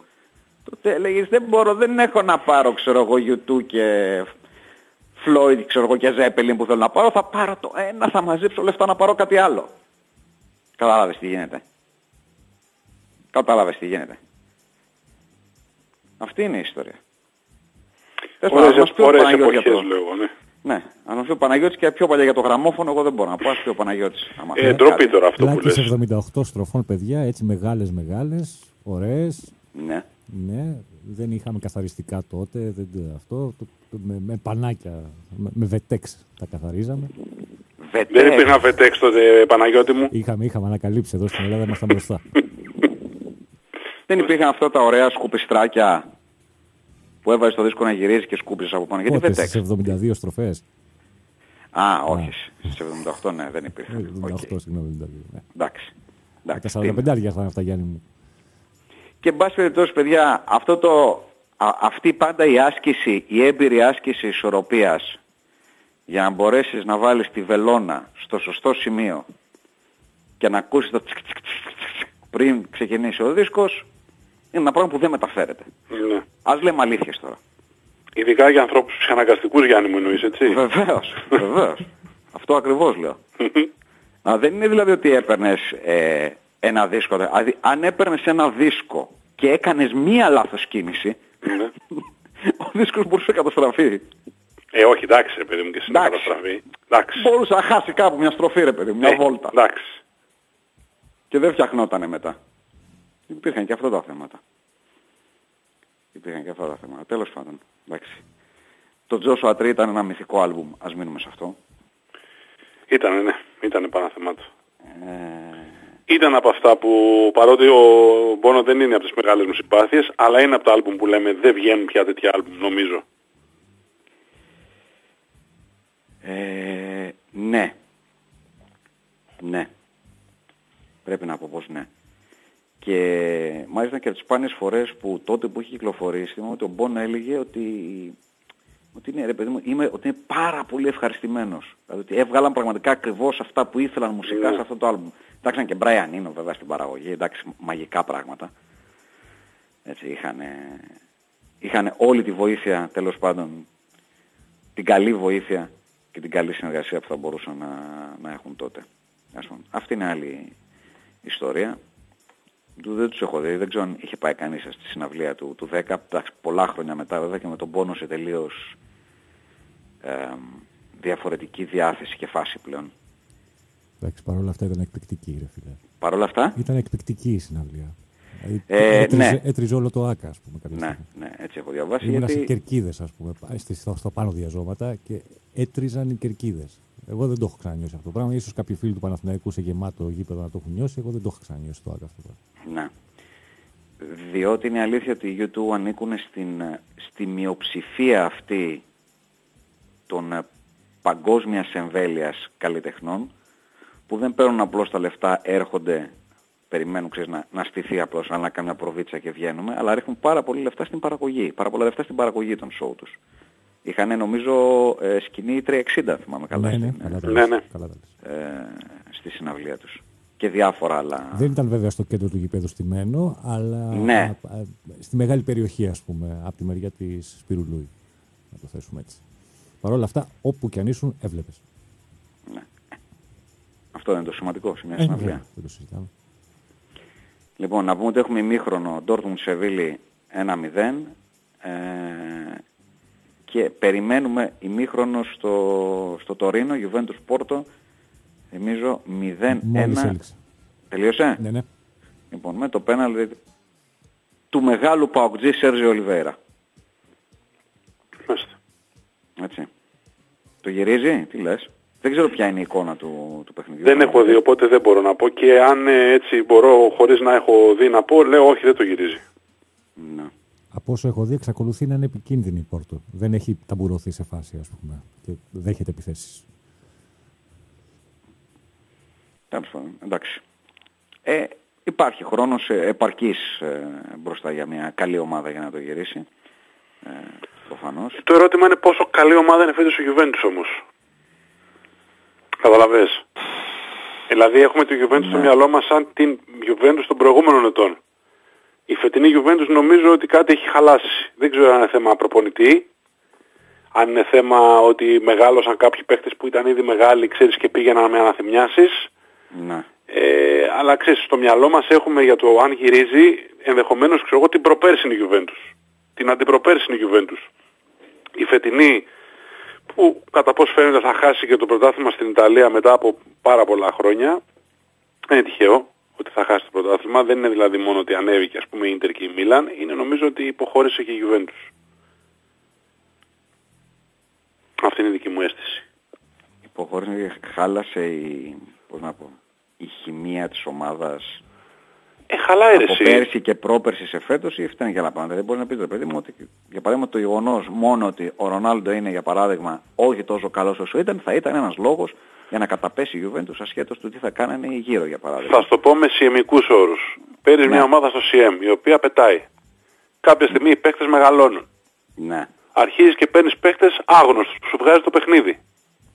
ναι, Και παράλληλα προσπαθείς ας πούμε να φτάσεις ξέρεις, μέχρι τη συνταξιοδότηση τους παίκτες που ξέρεις και αγαπάς να τους ε, αρμέξεις και να τους τύψεις και να βγάλεις την τελευταία σταγόνα. Ε, κάποια στιγμή δεν γίνεται. ναι, αλήθεια είναι αυτό. Όταν φτάνουν οι παίκτες και είναι ξέρω εγώ 34, 35, 36 και πέφτει το στάμινα στο 10 και ένα παιχνίδι παίζουν και μετά ένα δεν παίζουν γιατί είναι μια αντίστοιχη περίπτωση άμα το μεταφέρουμε αυτό το, το σιαμικό ας πούμε τη σιαμική πραγματικότητα στην πραγματικότητα του ποδοσφαίρου ε, μπορεί να το καταλάβει κανείς. Οπωσδήποτε. Από την άλλη, ξέρεις, στην Πόρτο παίζει ο 38χρονος Πέπε και στην ε, Juventus, αν εξαιρέσουμε τον Ρονάλντο, του οποίου όμως το σώμα δεν έχει καμία σχέση με τα, και η κατάστασή του με τα 36 του χρόνια, ε, ξέρεις, ξέροντας τον Μπονούτσι, δεν βλέπω και κα- κανέναν ε, υπερήλικα ας πούμε, στη Juventus για να δικαιολογεί αυτό. Δεν είναι ακριβώς που φετινό λες. αυτό το πρόβλημα. Είναι μια Ναι. κατάσταση που τραβάει χρόνια με παίκτες οι οποίοι μεγαλώνανε και η ομάδα δεν μπολιαζόταν νομίζω με Αλλά λες ότι αξιόλογους. πέσαν, πέσαν πολύ μαζί τώρα νέοι και δεν μπορεί να Κάποια, δέσει επειδή ναι. είχαν κρατήσει γερουσία στο, Ε, στο βέβαια. παρελθόν. Αυτό, Ναι. αυτό. Ναι. δεν μπήκαν σταδιακά οι καινούργιοι παίχτες και να έρθουν ξέρεις και καλοί ποιοτικοί παίχτες που θα μπορούσαν ας πούμε δίπλα στους γερόλικους να βελτιωθούν και οι ίδιοι να γίνουν οι επόμενοι πρωταγωνιστές και νομίζω ότι και με την αλλαγή του προπονητή που ήρθε ένας προπονητής που δεν είχε καμία εμπειρία διαχείρισης ούτε κρίσεων ούτε ε, παλιών παιχτών, νέων παιχτών κλπ. κλπ. Όσο και να τον αγάπαμε, ως προπονητής είναι νέοψ. Ε, Αλήθεια. νομίζω ότι όλα αυτά, εντάξει, και επίσης οι ομάδες κάνουν κύκλους, έτσι, κλείνει κύκλος κάποια στιγμή. Θέλουμε, δεν θέλουμε. Ναι, βέβαια, Σε βέβαια, όλες ναι. τις ομάδες κλείνει ένας κύκλος. Είναι πολύ ελάχιστες περιπτώσεις των ομάδων που κατάφεραν ας πούμε, τη φάση αυτή να την περάσουν ανώδυνα γιατί είχαν καταφέρει να βρουν ήδη τους επόμενους πρωταγωνιστές πριν αποστρατευτούν οι προηγούμενοι. Μπορεί να μην υπάρχει και καμία ας πούμε. Ναι. Όλες οι μεγάλες ομάδες κάνουν ένα κύκλο και κλείνει ο κύκλος κάποια στιγμή και ξεκινάνε πάλι από την αρχή. Αυτό συμβαίνει στο ποδόσφαιρο, έτσι είναι ε, η ζωή. Ναι. Ε, επίσης ο Κουαδράδο δεξί μπακ, επειδή κάτι έχω χάσει, είναι κάτι για το μάτς αυτό ή είναι κάτι που υπάρχει, Δεν ξέρω, δεν ξέρω. που συμβαίνει, γιατί νομίζω έχουμε δει αρκετά παιχνίδια του Κουαδράδο, Ξέρουμε ότι Ναι. μάλλον δεν είναι, αυτό θα λέγαμε, ο ορισμός του, του δεξιού μπακ, με την έννοια ότι έχει και άνθρωπο μπροστά του, έτσι δεν είναι. Εγώ μετά από μπακ. τόσα χρόνια δεν έχω καταλήξει αν ο Κουαδράδο είναι καλός ποδοσφαιριστής ή μέτριος ποδοσφαιριστής, να σου πω την αλήθεια. Επειδή πια το βλέπουμε πολλά χρόνια να παίζει. Ε, Πέρα από μερικές εξάρσεις ας πούμε και μερικά πράγματα εντυπωσιακά, ε, λιγοστά όμως, στο σύνολό του εγώ δεν έχω πιστεί ότι είναι ένας πραγματικά καλός παίχτης. Νομίζω ότι ο Κουαδράδο κέρδισε το hype του, το ποδοσφαιρικό του hype ε, περισσότερο λόγω των εντυπωσιακών εμφανίσεων που έκανε με την, ε, με την εθνική του. Θα έλεγα περισσότερο. Παρά με τις, ε, παρά με τις ομάδες του. Α, Αυτή την, ε, αυτή την αίσθηση έχω. Τώρα Ναι. εντάξει βέβαια πηγαίνοντας σε 33 παίζει, φίλε, εντάξει, παίζει αρκετά χρόνια για να τον ξέρεις. Είναι η αλήθεια. Αλλά εν πάση περιπτώσει να το πούμε και διαφορετικά ποια είναι η ομάδα στην οποία μάγεψε ο Κουαδράδο. Έπαιξε αρκετά. Νομίζω ότι η καλύτερη του ε, ποδοσφαιρικά, ποδοσφαιρικά περίοδος είναι η περίοδος της Φιωρεντίνα, αν ρωτάς εμένα. Θα συμφωνήσω, ναι. Συγκριτικά καλά. Στη Τζέλση είναι σαν να μην πήγε, Ναι. έτσι. και στη Juventus είναι τουλάχιστον αν μη τι άλλο μπορείς να πεις δεν βγάζει μάτια, αλλά είναι αυτό που λέμε ρε παιδί μου, βασικός και αντικατάστατος. Το γιατί είναι μια, είναι, είναι μια διαφορετική, ε, διαφορετική ιστορία. Εντάξει, όλες οι, οι, οι ομάδες στην, ε, στην τρίτη πλέον δεκαετία που έχουμε εισέλθει του 21ου αιώνα και με το ποδόσφαιρο να είναι όπως είναι, ψάχνουν παίκτες οι οποίοι να έχουν λίγο πώς να το πω, παλιό ποδοσφαιρικό μυαλό αλλά να μπορούν στα 30 τους να είναι πολύ γρήγοροι και να μπορούν να αντεπλάρουν ένα πράγμα που λείπει από το ποδόσφαιρο. Οπότε και με αυτή την έννοια μπορώ να καταλάβω τη χρησιμότητα παιχτών σαν τον Κουαδράδο. Αλλά αν ρωτάς αν το hype το οποίο τον συνοδεύει είναι τόσο πολύ μεγάλο, ναι, και εγώ δεν θα ξέρω να απαντήσω. Ναι. Αλήθεια. Δεν θα μπορώ να πω κάτι περισσότερο δηλαδή ε, από αυτό. Είναι πάντως ένας παίχτης που δεν περνάει απαρατήρητος. Όχι ρε παιδί, δεν λέω ότι είναι ξέρεις απαρατήρητος, ότι είναι απατεώνας, αλλά όχι, όχι, είναι από τους παίχτες που νομίζω πε, περιμέναμε παραπάνω πράγματα τα οποία δεν μας τα έδειξε. Είναι σε αυτή την κατηγορία νομίζω. Ξέρεις κάτι, α, αφού την κάνεις κουβέντα να πούμε ότι ε, μου δίνεις την ευκαιρία να πω, νομίζω ότι υπάρχουν πολλοί ε, wingers, extreme, ε, δηλαδή κακώς χρησιμοποιώ τον όρο winger, πολλοί extreme, με παρόμοια χαρακτηριστικά, οι οποίοι επειδή ακριβώς η συγκεκριμένη θέση είναι η θέση που κέρδισε περισσότερο χώρο στο παγκόσμιο ποδόσφαιρο την τελευταία 15 ετία, με την καθολική αλλαγή των συστημάτων, ξέρεις, από 4-4-2 ή 4-2-3-1 σε σύστημα το οποίο να απαιτεί wingers, δηλαδή σε 4-3-3 που απαιτεί οπωσδήποτε έναν ή δύο wingers μέσα στην 11. Όχι wingers όμως πια κλασικούς. Δεν απαιτεί wingers. Απαιτεί παίκτες, όχι γραμμής δηλαδή που να παίζουν στη γραμμή, απαιτεί παίκτες που να συγκλίνουν και να απειλούν. Τώρα πια ναι. Εδώ και αρκετά ναι. χρόνια. Δηλαδή παίκτες στον ασβέστη που λέγαν παλιά που παίζουν δεν υπάρχουν πια. Ε, όχι, είναι λίγοι. Είναι λίγοι. Απλώς θέλω να πω ότι με τον Μέση να παίζεις σε εκείνη τη θέση, με τον Κριστιανό να παίζει παλιότερα σε εκείνη τη θέση, με παίχτες όπως ο Σαλάχ ξέρεις να παίζουν σε αυτή τη θέση, ο πύχης για τη θέση έχει ανέβει πάρα πολύ, αυτό θέλω να πω. Είτε είσαι παίχτης που παίζεις με ανάποδο πόδι, ξέρεις, με το ανάποδο πόδι στην αριστεροπόδαρος δεξιά ή δεξιοπόδαρος αριστερά είτε είσαι ε, καταπληκτικός σε χίλια δύο πράγματα, είτε είσαι μπουκαδόρος, είτε λειτουργείς ως δεύτερος εκθετικός, ο πύχης, αν σκέφτεσαι το παγκόσμιο ποδόσφαιρο, για ποιους έχει ανέβει περισσότερο, νομίζω ότι είναι για τους συγκεκριμένους. Και Προφανώς, γιατί κάνουν και κάτω. παραπάνω χιλιόμετρα αυτοί οι παίχτες, οπότε πρέπει να είναι και πάρα πολύ καλοί αθλητές. Σίγουρα. Και επίσης έχουμε και την απέτηση που δεν έχουμε την ίδια απέτηση από, τους, ε, από τα φόρ να βοηθάνε και ασφαλτικά. Δηλαδή ε, τους έχουν πέσει στην πλάτη πολλά παραπάνω καθήκοντα. OK, okay, ε, και ο σύγχρονος φορ, ναι. πούμε, ξεκινάει να είναι η πρώτη γραμμή άμυνας, αλλά για σκεφτείτε τον άνθρωπο που παίζει, ας πούμε, στα άκρα, που πρέπει να έχει το νου του και στον back που παίζει πίσω του και να γυρίζει και να μαρκάρει. Όχι το νου του, είναι αυτό που, που λένε ο wingman του. Χωρίς αυτόν δεν κάνει. Ναι, Κανένας γυρίζει... back δεν κάνει χωρίς ναι, τον μπροστινό ναι. του πια. Να γυρίζει και να μαρκάρει ας πούμε γιατί αλλιώς βάζουν τον back στη μέση οι άλλοι δύο του και τον αλαλιάζουν. Δηλαδή αυτό που λέμε ότι πρέπει να γυρίζει πια να βοηθάει. Υποχρεωτικά. Γιατί η κεντρική πια, η κεντρική μέση έχουν άλλα καθήκοντα. Δεν καλύπτουν έτσι όπως κάλυπταν παλιά. Μπορούν να καλύπτουν χώρο κοντά στα back, δεξιά και αριστερά, αλλά όχι τον χώρο αυτό που πολύ σωστά λες καλύπτει ο συγκεκριμένος, οι συγκεκριμένοι ναι. παίχτες, οι οποίοι κάνουν λογικά και τα περισσότερα χιλιόμετρα. Μπορεί να βγαίνει καμιά φορά ότι τα κάνει ο αμυντικός μέσος στα περισσότερα χιλιόμετρα. Αλλά νομίζω ότι σε ένταση sprint, επειδή αυτά δεν καταγράφονται, ξέρεις, βλέπεις ένα ξερό νούμερο, ότι έκανες ξέρω τόσα χιλιόμετρα. Ναι. Νομίζω όμως ότι σε ένταση sprint και προσπάθεια, γιατί είναι η προσπάθεια του να τρέξεις την άμυνα να καλύψεις και μετά να σπριντάρεις και να ναι, φύγεις ναι, ξανά για να πας στη θέση σου. Νομίζω ότι όντως έχεις δίκιο ότι αυτοί πρέπει να τραβάνε το μεγαλύτερο κουπί στο, στο σύγχρονο ποδόσφαιρο. Ναι. Αυτό. Αυτή είναι η, η ιστορία. Δεν νομίζω παιδί ότι τα Winger, οι Winger μεταξελίχθηκαν σε back. Κάποιοι το κάνανε, κάποιοι ενδεχομένως όταν προπονητές παίζουν 3-5-2 μπορεί να, να εξυπηρετούν ε, αυτό το σκοπό. Ε, αλλά ο Γουαρδιόλα ας πούμε παίζει ένα σύστημα ναι. με full back ουσιαστικά που παίζουν ναι, όλη τη γραμμή ναι, από πάνω μέχρι κάτω αλλά ο Γουαρδιόλα γενικά προσπαθεί να ανακαλύπτει πάντα το ποδόσφαιρο, να ξαναανακαλύπτει το ναι, ποδόσφαιρο. Ναι, σωστό, σωστό. Ξέρεις, μπορεί ξανά το 3-5-2 μετά από 50 χρόνια να είναι, ξέρεις, να είναι το επόμενο 4-3-3. Ποτέ δεν ξέρει κανείς. Και να έχουμε όντως ε, wingbacks. Από την άλλη Μπορεί το επόμενο 4-3-3 να είναι το 2-7-1 του Τιάγκο του Μούτα, έτσι. Δεν πρέπει και αυτό να το ξεχνάμε. Βεβαίως. Κώστα. Έτσι. Γιατί, γιατί αφήνουμε απ' έξω τον Τιάγκο του Μούτα, δηλαδή, τη συζήτησή μας, μπορώ να το καταλάβω αυτό το πράγμα. Τέλος πάντων, λοιπόν, κυρίες και κύριοι, η ώρα πήγε 11. Πάμε σε δελτίο αθλητικών ειδήσεων ένα τραγούδα και επιστρέφουμε σε λίγα λεπτά. Ο Fight Club μέρος δεύτερον, εδώ στον uh, Big Win Sport FM. Έχουμε δεύτερο γκολ για την ε, Dortmund. Σωστά. Έχουμε πέναλτι για την Dortmund και ισοφάριση για την Juventus. Α, μάλιστα. Με τον Γκιέζα ισοφάριση και η Juventus. Με τον Για να δούμε. Και ο Και Χάλαντ πέναλτι για την παίρνει Dortmund. φόρα. Ο Χάλαντ παίρνει φόρα. Αυτό βλέπω εγώ. Εκτελεί και το πιάνει. Το χάνει. Δεύτερη προσπάθεια. Τρίτη προσπάθεια. Δεν μπαίνει γκολ. Μάλιστα. Είναι καλός τώρα ο Χάλαντ. Ε, ε. Ναι, είναι πολύ καλός ο Χάλαντ, ναι. Το πέναλτι ήταν άθλιο. Μια φορά. αδύναμο. Στη γωνία. Μένα αλλά αδύναμο. Δεν είναι εύκολο να μάθεις να χτυπάς πέναλτι. Είναι από τα δύσκολα πράγματα. Αυτό το έχουμε συζητήσει και υπάρχουν και ε, πολλά παραδείγματα σπουδαίων ποδοσφαιριστών οι οποίοι ήταν καλύτεροι στα φάουλ ή στα σούτ έξω από την περιοχή, στα τελειώματα γενικώ από ότι στα, στα πέναλτι. Έτσι. Ο Μαραντόνα, ας πούμε, νομίζω είναι χαρακτηριστικότερο παράδειγμα. Ο Μαραντόνα ήταν αδύναμος στις εκτελέσεις των πέναλτι. Δεν ήταν καλός.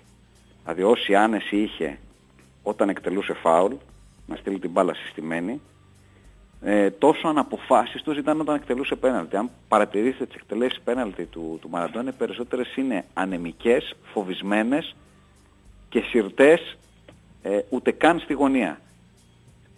Διαλέγει μία πλευρά και στέλνει την μπάλα έτσι ώστε σίγουρα να πάει μέσα στο τέρμα. Και ελπίζει να μην πέσει τροματοφύλακας από εκεί. Θέλει, θέλει και το πέναλτι τέλος πάντων την... ε, Ποιος την- έβαλε δεύτερο γκολ για την, ε, για την Dortmund; Ή όχι; Όχι, το πήρε πίσω τον γκολ, έτσι, Ναι, και έδωσε το πέναλτι. Μάλιστα, εντάξει.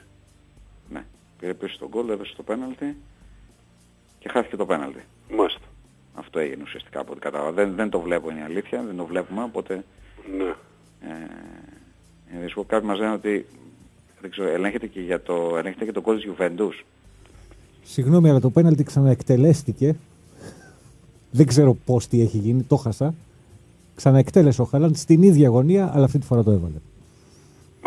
Μάλιστα. Και θέλω να πω ότι είναι σημαδιακό ότι ο τερματοφύλακας της ε, Σεβίλης είναι ο Μπόνος. Είναι ο πόνο. Έτσι. ναι. Δεν φοράει γυαλιά. Μέρα που είναι. Μαύρα.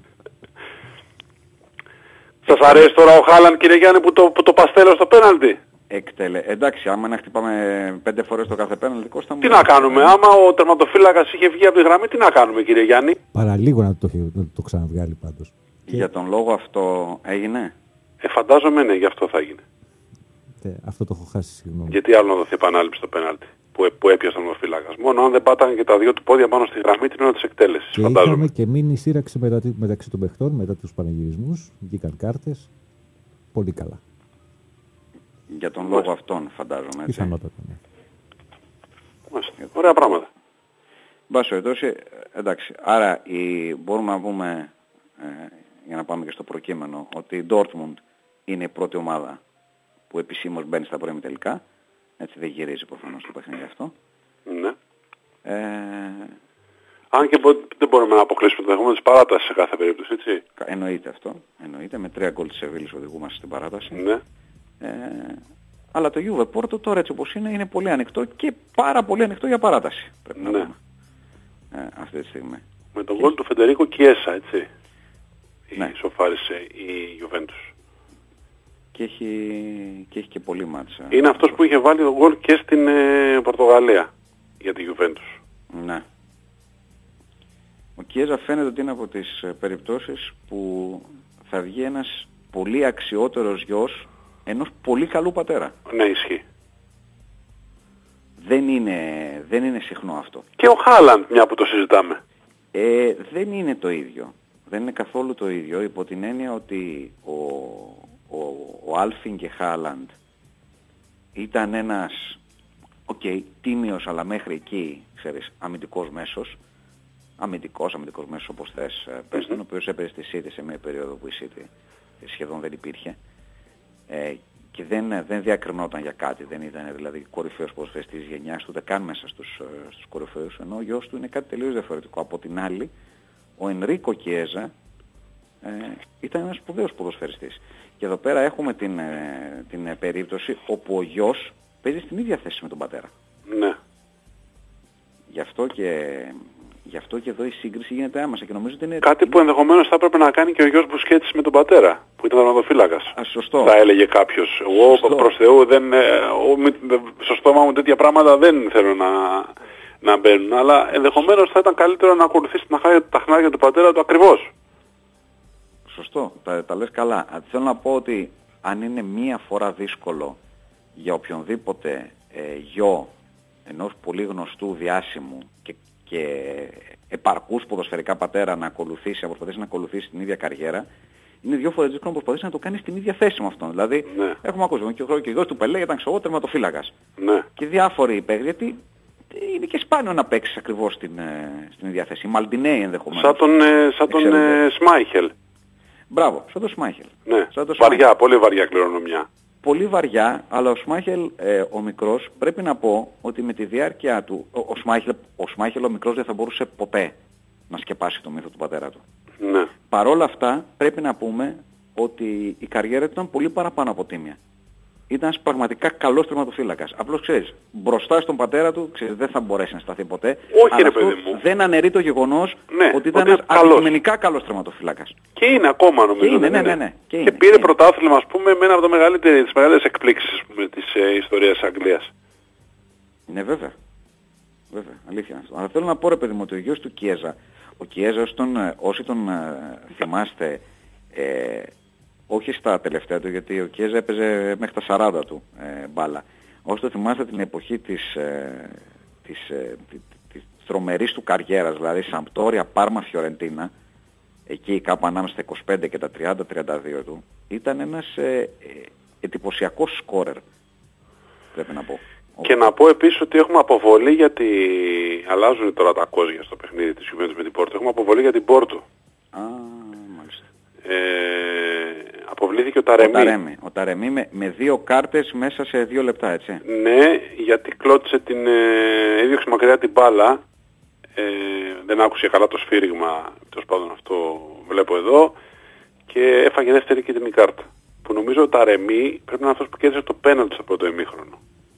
Εγώ πρέπει να πω τώρα χωρίς να δω τη φάση ότι αυ- αυτό το συγκεκριμένο έτσι όπως το περιγράφεις είναι μια περίπτωση την οποία θα πρέπει να προσέχουν περισσότερο οι διαιτητές.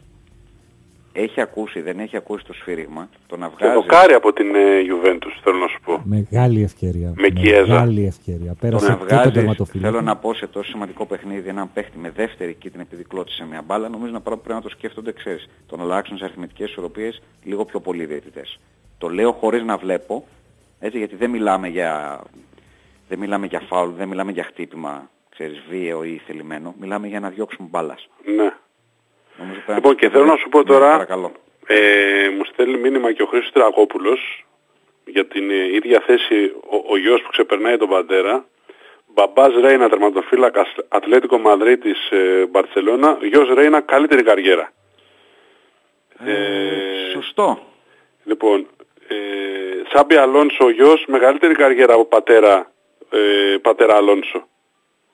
Δεσποταλτής με Σοσιαδάδ και ε, Μπαρτσελώνα. Ε, Έχουμε και άλλες περιπτώσεις ε, έξω από αυτές που αναφέραμε. Ναι. Και κάπως περιμένουμε να τους δούμε. Ας πούμε. Περιμένουμε Ναι. το, τον το Justin τον Κλάιφερτ ας πούμε, να δούμε τι θα κάνει Ναι, στη διάρκεια της, ε, της καριέρας του.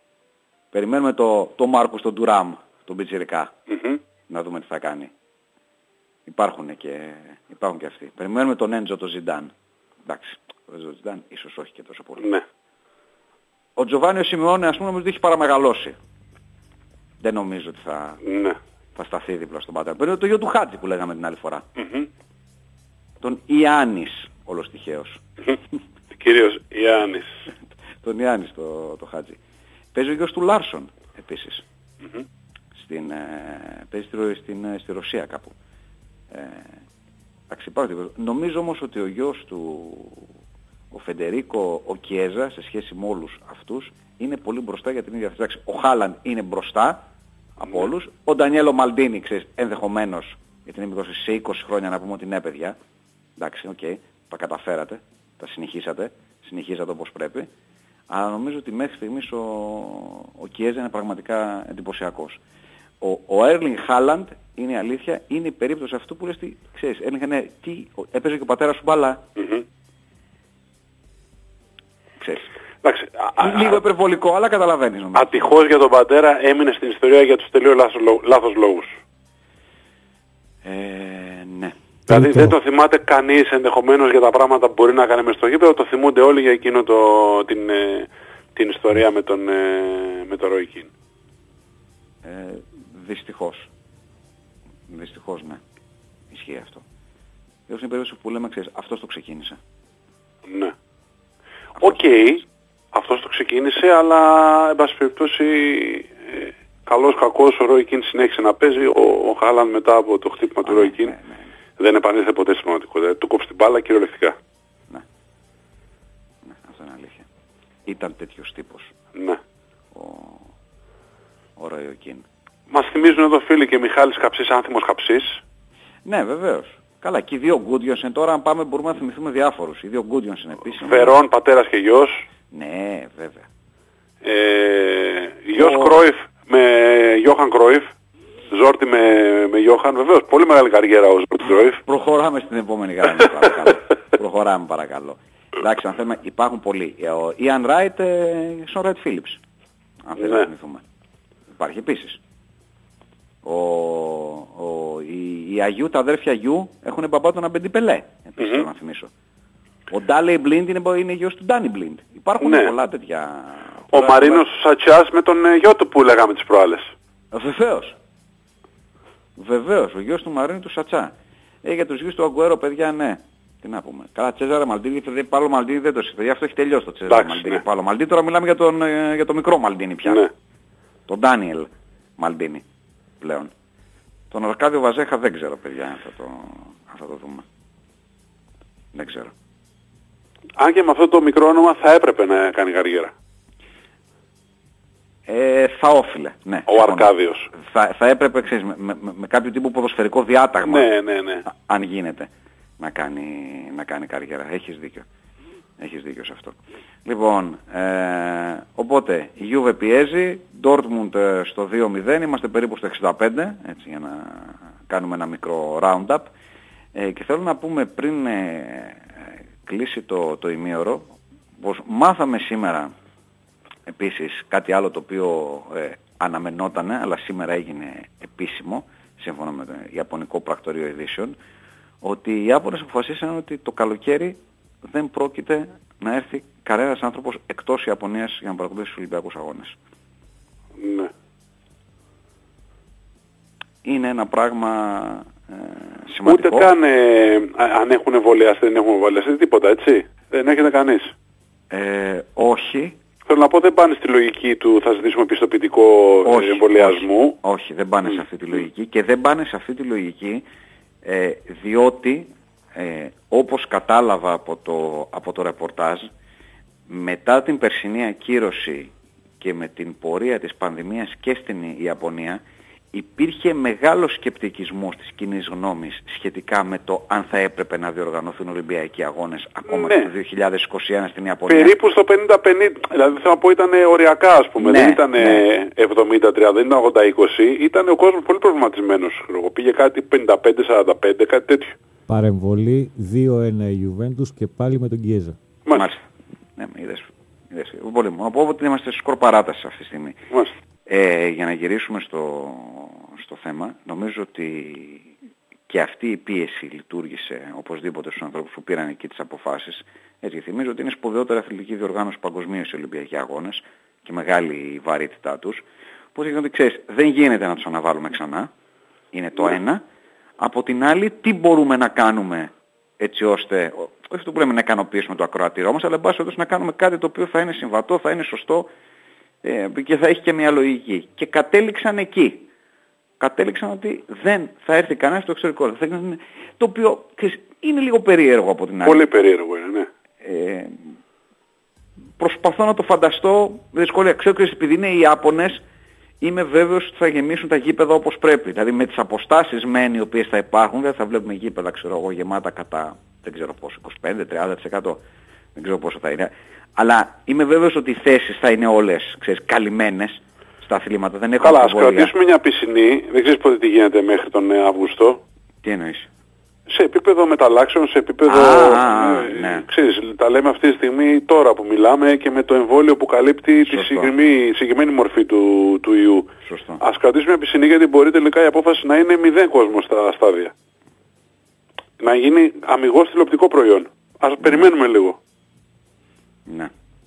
Αλήθεια. Αλήθεια είναι αυτό που λες. Αλλά εν πάση περιπτώσει και να Δηλαδή, γίνουν- όπως έχουμε εμείς Ναι. εδώ πέρα, ξέρω εγώ, την ε, μετάλλαξη Νότια Αφρική, μπορεί να έχουν στην Ιαπωνία την ελληνική μετάλλαξη. Για σκέψου το λίγο.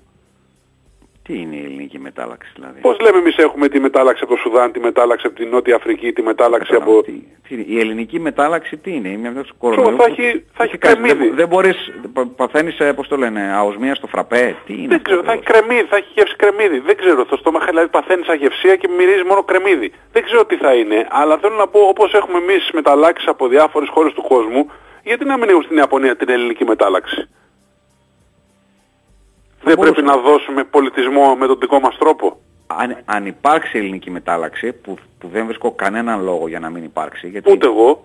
δηλαδή εμείς τι, τι θα είμαστε, θα είμαστε πάντα ας πούμε, οι άνθρωποι Οι οποίοι παρείες θα ακολουθούν- είμαστε εμείς. Ναι. Οι παρείες Πέναλτι τις έχουμε. για τη Σεβίλη. Τι έγινε, Πέναλτι για τη Σεβίλη. Μάλιστα. να τι ανατροπή, να τι ανατροπή. Ανατροπή στην ανατροπή. Θα το χτυπήσει, θα το χτυπήσει ο Χάλαντ κι αυτό; Ενδεχομένως, κάτσε να δω ποιος είναι το νούμερο 15. Αχ, δεν προλάβα. Εκτελεί γκολ. 2-1. Εντάξει, πόσα μείνανε, λίγα μείνανε, άλλα πόσα, άλλα τρία.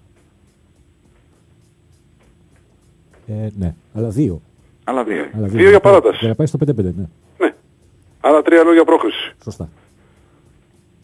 Στο Ναι. κέντρο ψηλά, δοκάρι και μέσα. Μάλιστα. Ναι. Ωραία θα είναι να έχουμε παράταση και στα δύο παιχνίδια. Δεν νομίζω. Με κάποιο τρόπο. Δεν νομίζω. Δεν νομίζω. Αλλά εντάξει, η Σεβίλη έχει κάνει πολλά. Καλό θα ήταν να είμαστε Στο Europa. στο γήπεδο, λέω εγώ. Στο Europa. Στο γήπεδο, ας το Europa τώρα. Πόσα στο Europa. Άλλο πράγμα είναι εκεί πέρα. Είναι ο δικός θεσμός. Ναι. Στο Europa κάνει τη γουστάρι. Περπατάνε πάνω στα νερό οι παίχτες. Είναι το Europa.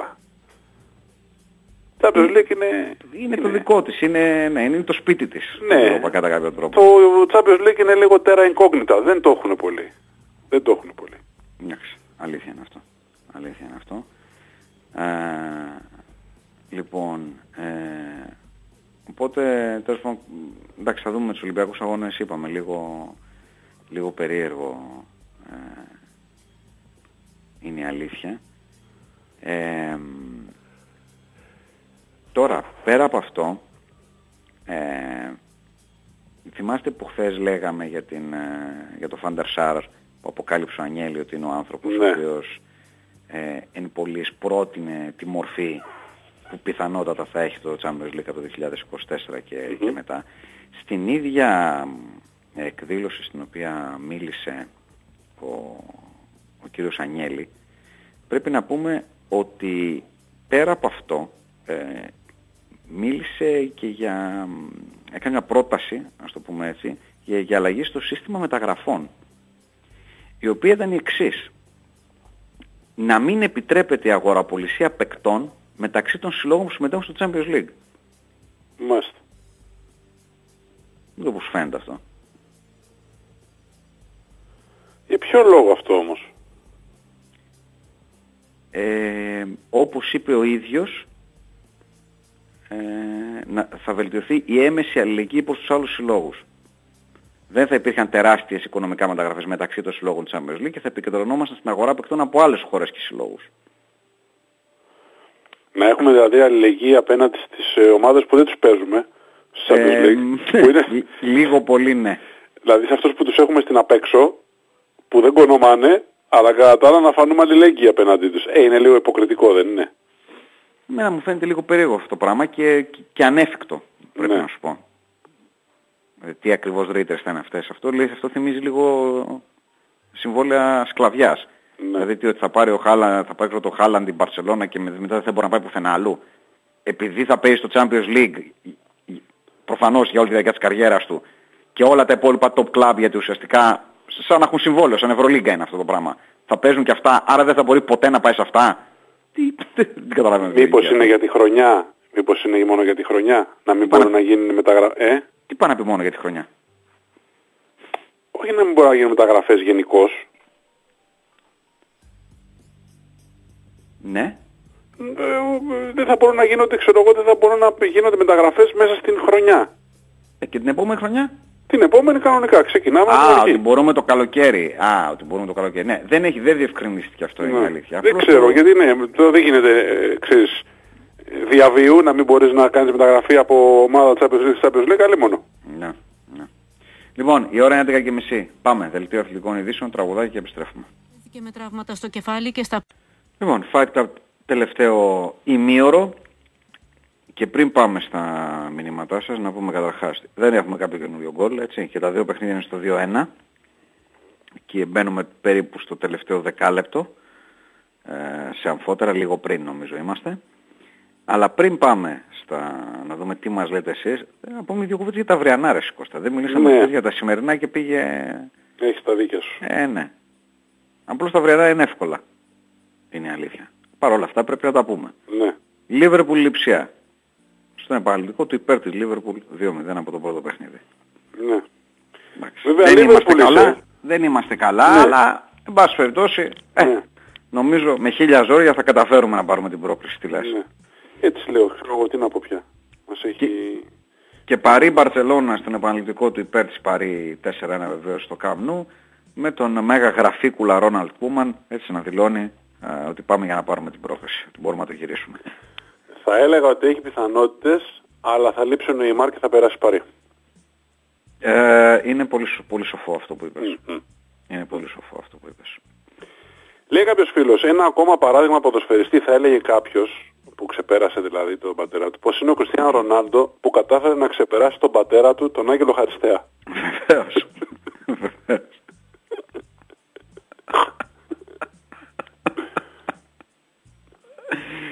Βεβαίως. Πραγματικά. Ναι. Ε, για τον ε, Μαρεκντόνα, ο Μιχάλης που παρακολουθεί τα της Εθνικής Σλοβακίας ε, Ναι. ε, πιο κοντά από μας, λέει ότι Ναι, ο ναι. Βλαδίμηρος ο Βάης Ναι. και ο Μύρο ο Στόχ στήριξαν την υποψηφιότητά του για αρχηγός στην Εθνική και έτσι δεν πέρασε η άποψη του Κομοδίνου. Δεν ξέρω σε ποιον αναφέρεται. Εγώ δεν πάω να καταλάβω κι εγώ. Δεν πάω να καταλάβω κι εγώ. Ναι. Δεν νομίζω. Δεν πάω να καταλάβω. Μεγάλη αλήθεια από Σερέα Williams. Παίρνοντας ψημένο τόσο σε χαρτοπετσέτα, αν κολλήσει μικρό μέρος τυριού εκεί, για κάποιο λόγο θέλουμε να το αποκολλήσουμε και να το φάμε, λες και δεν Βεβαίως. υπάρχει αλλού τυρί. Βεβαίως, γιατί δεν το έχουν Οπωσδήποτε. πληρώσει δηλαδή. Δεν το έχουν πληρώσει Οπωσδήποτε. δηλαδή, δεν κατάλαβα. Οπωσδήποτε. Οπωσδήποτε. Τι έχετε να πείτε για τον Ρονάλντο που στα 45 του θα γίνει πατέρας για πέμπτη φορά με τέταρτη διαφορετική γυναίκα, λέει ο Ρωτόμι Μάκινεν. Δεν είχε κάνει βασεκτομή ο Ρονάλντο ακριβώς για αυτό το λόγο, γιατί ήθελε να, να μπορέσει να απολαμβάνει τις χαρές του έρωτα χωρίς να μένουν οι, οι σύντροφοι του έγκυες και μετά έχει να Δεν το πληρώνει. θυμάμαι αυτό. Εγώ αυτό θυμάμαι. Ότι είχε κάνει βασεκτομή. Είχε βγει και το είχε πει ότι ήταν Ε, αυτός. προφανώς δεν έχει κάνει όμως. Προφανώς κάτι τον προειδέψανε. Πας περίπτωση. Ναι. Ε, Το Καρίμ Ανσαριχάρδ, ο χρυσός εκτελεστής είναι πιασμένο. όχι, όχι. Είναι δικός σου. Είναι δικός σου. Λέει ένας φίλος, αν προκριθεί η Juventus θα είναι η 20η φορά της ομάδας σε οχτάδα του Τσουλού και η 11η της Πόρτο. Αν περάσει τον θα είναι για αυτήν η ένατη και τρίτη για τη Σεβίλη. Έτσι, για τα στατιστικά. Ναι. Ε, ο Κωνσταντίνος λέει ότι ο Ρίλος είναι έτοιμος για καριέρα ASMR, ας το πει κάποιος. Μμμ. Το λέμε, ακούστηκε. Ε, ναι, βγαίνει ντοκιμαντέρ ε, για Ρομπέρτο Μπάτζο, το Μάιο αν θυμάμαι καλά. Ναι. Το περιμένουμε και αυτό. Είδες το ντοκιμαντέρ για τον Πελέ, θα το συζητήσουμε καμιά ώρα; Ε, δεν το είδα, όχι. Μάλιστα. Δεν το Ένα, είδα. μετά φταίω εγώ. Δεν το είδα. Φταίω εγώ τώρα. Στο είπατε, πήρα από 10 μέρες το είπα τελευταία φορά. Φταίω εγώ που μου λέει μου το λες κάθε μέρα. Περάσουν οι μέρες που έκανες να δεις το Κόμπρα Κάι. Έχουν περάσει ήδη Κώστα. Όχι, δεν έχουν περάσει. Μάλιστα. Όχι, δεν έχουν περάσει. Άρα δεν το βλέπεις επί τούτου. Αυτό μου όχι λες. ρε παιδί μου, όχι. όχι. Το έχω ξεχάσει να σου πω, ναι, το έχω αμελήσει. Το έχω αμελήσει. Βάλ το στη λίστα σου, Εντάξει, add to my list για να το έχεις μπροστά σου. εντάξει, εντάξει.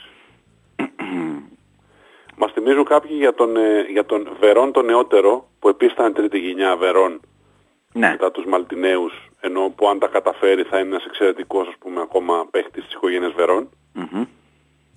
Ναι. Ε, Λέει ο- κάποιος και δεν ναι. ξέρω σε ποιον αναφέρεται Γιάννη. Λέει εδώ τρώμε το κρουασάν του περιπτέρου που δεν το έχουμε πληρώσει. Δεν θα φάμε το τυράκι της χαρτοπετσέτας που το έχουμε πληρώσει. Δεν καταλαβαίνω τι εννοεί το κρουασάν του περιπτέρου που δεν το Κι εγώ έχουμε δεν μπορώ. πληρώσει. Κι εγώ δεν μπορώ. ναι. Δεν κα- τα μιλάει για κάτι ποινικά κολάσιμο. Δεν Δεν, το ξέρω. καταλαβαίνω. Δεν ξέρω. Ο Στράτη λέει να κόψουν με, εκτός από τον Πέπε Λεπιού και τον Bugs Bunny γιατί προάγει την καταστροφή ξένης περιουσίας. Καλά ναι, άμα πιάσουμε τα καρτούν, είναι όλοι για δρόμο έτσι. Δεν είναι τώρα να μείνει κανένα. ε, Αν το ψηρίσουμε, δεν είναι να μείνει για Ναι, κανένα. ναι. ναι. Επίσης δεν είναι να Αν, μείνει αν για τα κανένα κριτήρια, παιδικό... ξέρεις, τε, τεντωθούν κι άλλο, που άνετα τεντώνονται. Ναι. ναι. Ε, Επίσης Βεβαίως. δεν είναι να μείνει για κανένα παιδικό τραγούδι, εγώ λέω. Α, Το ήταν ένα μικρό καράβι εννοείς πρώτο και να ακολουθήσουν τα υπόλοιπα. Ναι. Το ένα μικρό καράβι. Πρώτο το, ε, το μπαρμπαμπρίλιο ας πούμε που ο Γάλλος έφαγε τον μπαρμπαμπρίλιο. Ε, το μια ωραία πεταρούδα που πέφτει κάτω και ψοφά. Θέλω να πω ότι αν είναι να τα πιάσουμε να τα καταργήσουμε και αυτά γιατί προάγουν τη βία, έχουν άσχημες εικόνες για τα μικρά παιδιά ε, με ζώα που πεθαίνουν ή με τον Γάλλο που τρώει τον μπαρμπαμπρίλιο ας πούμε. Θέλω να πω δεν θα βγάλω μακρύ. Α, Προφανώς δεν θα βγάλω μακρύ. Ένας φίλος που δεν υπογράφει, θα διαβάσω ωστόσο το μήνυμά του, λέει ότι παιδιά πέρα από την πλάκα το να πολεμήσουμε τη γενική πουριτανική αμερικανική ηλικιότητα που έχει μας καρευτεί ως προοδευτικότητα πρέπει να γίνει στόχος ζωής για τους Ευρωπαίους. Νομίζω ότι έχει μια σχέση με αυτό που συζητάμε τώρα. Αυτό. Κόψανε τον Πέπε Λεπιού ενώ αφήνουν την Όλη Βόιλ να παίζει σε διπλό ταμπλό με Ποπάι και Μπρούτο Α. με τις ευλογίες του εξόγαμου Ρεβιθούλη. Τι να λέμε τώρα λέει ο Τραγανός Δελάς.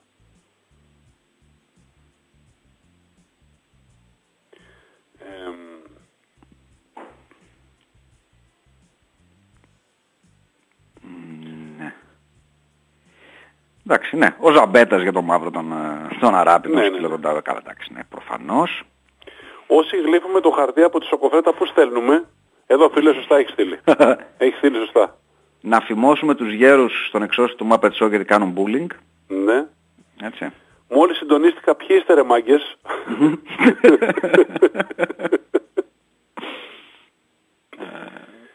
Υπάρχουν τρία είδη ανθρώπων. Αυτοί που λένε Φάντερσαρ, αυτοί που λένε Βάντερσαρ και αυτοί που λένε Βάντεσάρ, λέει ο Μπράζερ Μπίτερ. Ναι, και αυτοί που λένε φαντεσάρ, αν, Ναι. αν υπάρχει, Μία υπάρχει μια λέξη. τέταρτη Μία κατηγορία. λέξη, φαντεσάρ. Ναι. Έτσι, έτσι. Ο Τύχες Γιάννη Τύχα, Τύχες Γιάννη Τύχα Βάρτα λέει βαυκαλιζόμαστε ότι αλλάζοντας το δημόσιο λόγο θα αλλάξουμε την κοινωνία. Στην πραγματικότητα όμως ο δημόσιος λόγος αλλάζει μόνο όταν αλλάζει η κοινωνία. Ναι. Δηλαδή ο Έλμερ Φαντ με το τουφέκι του δεν θα έπρεπε να σταματήσει να εμφανίζεται γιατί είναι κακό παράδειγμα για την οπλοκατοχή; Α, σύμφωνα με την ε, ποια είναι, πέμπτη τροπολογία; Τέλος πάντων που δίνει το δικαίωμα της α, α, οπλοκατοχής στην Αμερική όχι.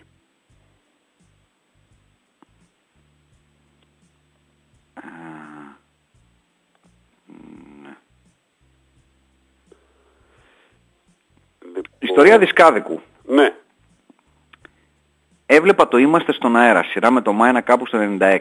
Στην αρχή του επεισοδίου παίζει κομματάρα. Πιάνω τις λέξεις That's when I reach for my revolver. Την επόμενη μέρα πάω με τρόπολη στο Χαλάνδρη και κατεβαίνω στο υπόγειο με τα singles.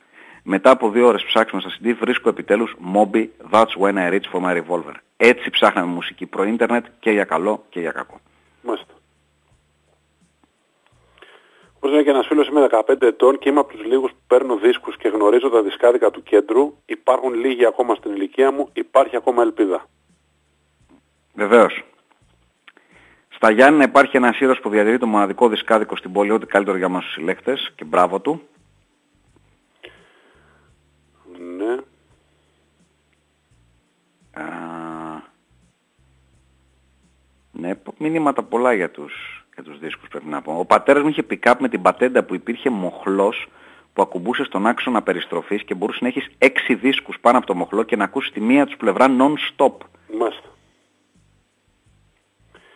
Τρίτης γενιάς ποδοσφαιριστής είναι ο Αλόνσο της Τσέλσι. Ο παππούς του υπήρξε παίχτης της Εθνικής και της Ρεάλ. Με το γερμανό εφαψία στον πάκο της Τσέλσι παίρνει τα πάνω του. Μας μας θυμίζουν δισκάδικα το Happening, το Rock City, το 7 συν 7, Jazz Rock, Late 80s και 90s, ναι. Τι κάνει ο Πέπε τέτοια ώρα στο Τωρίνο; Η μάνα του μόνη της θα κοιμηθεί; Αναρωτιέται το αλογάκι της Παναγίας.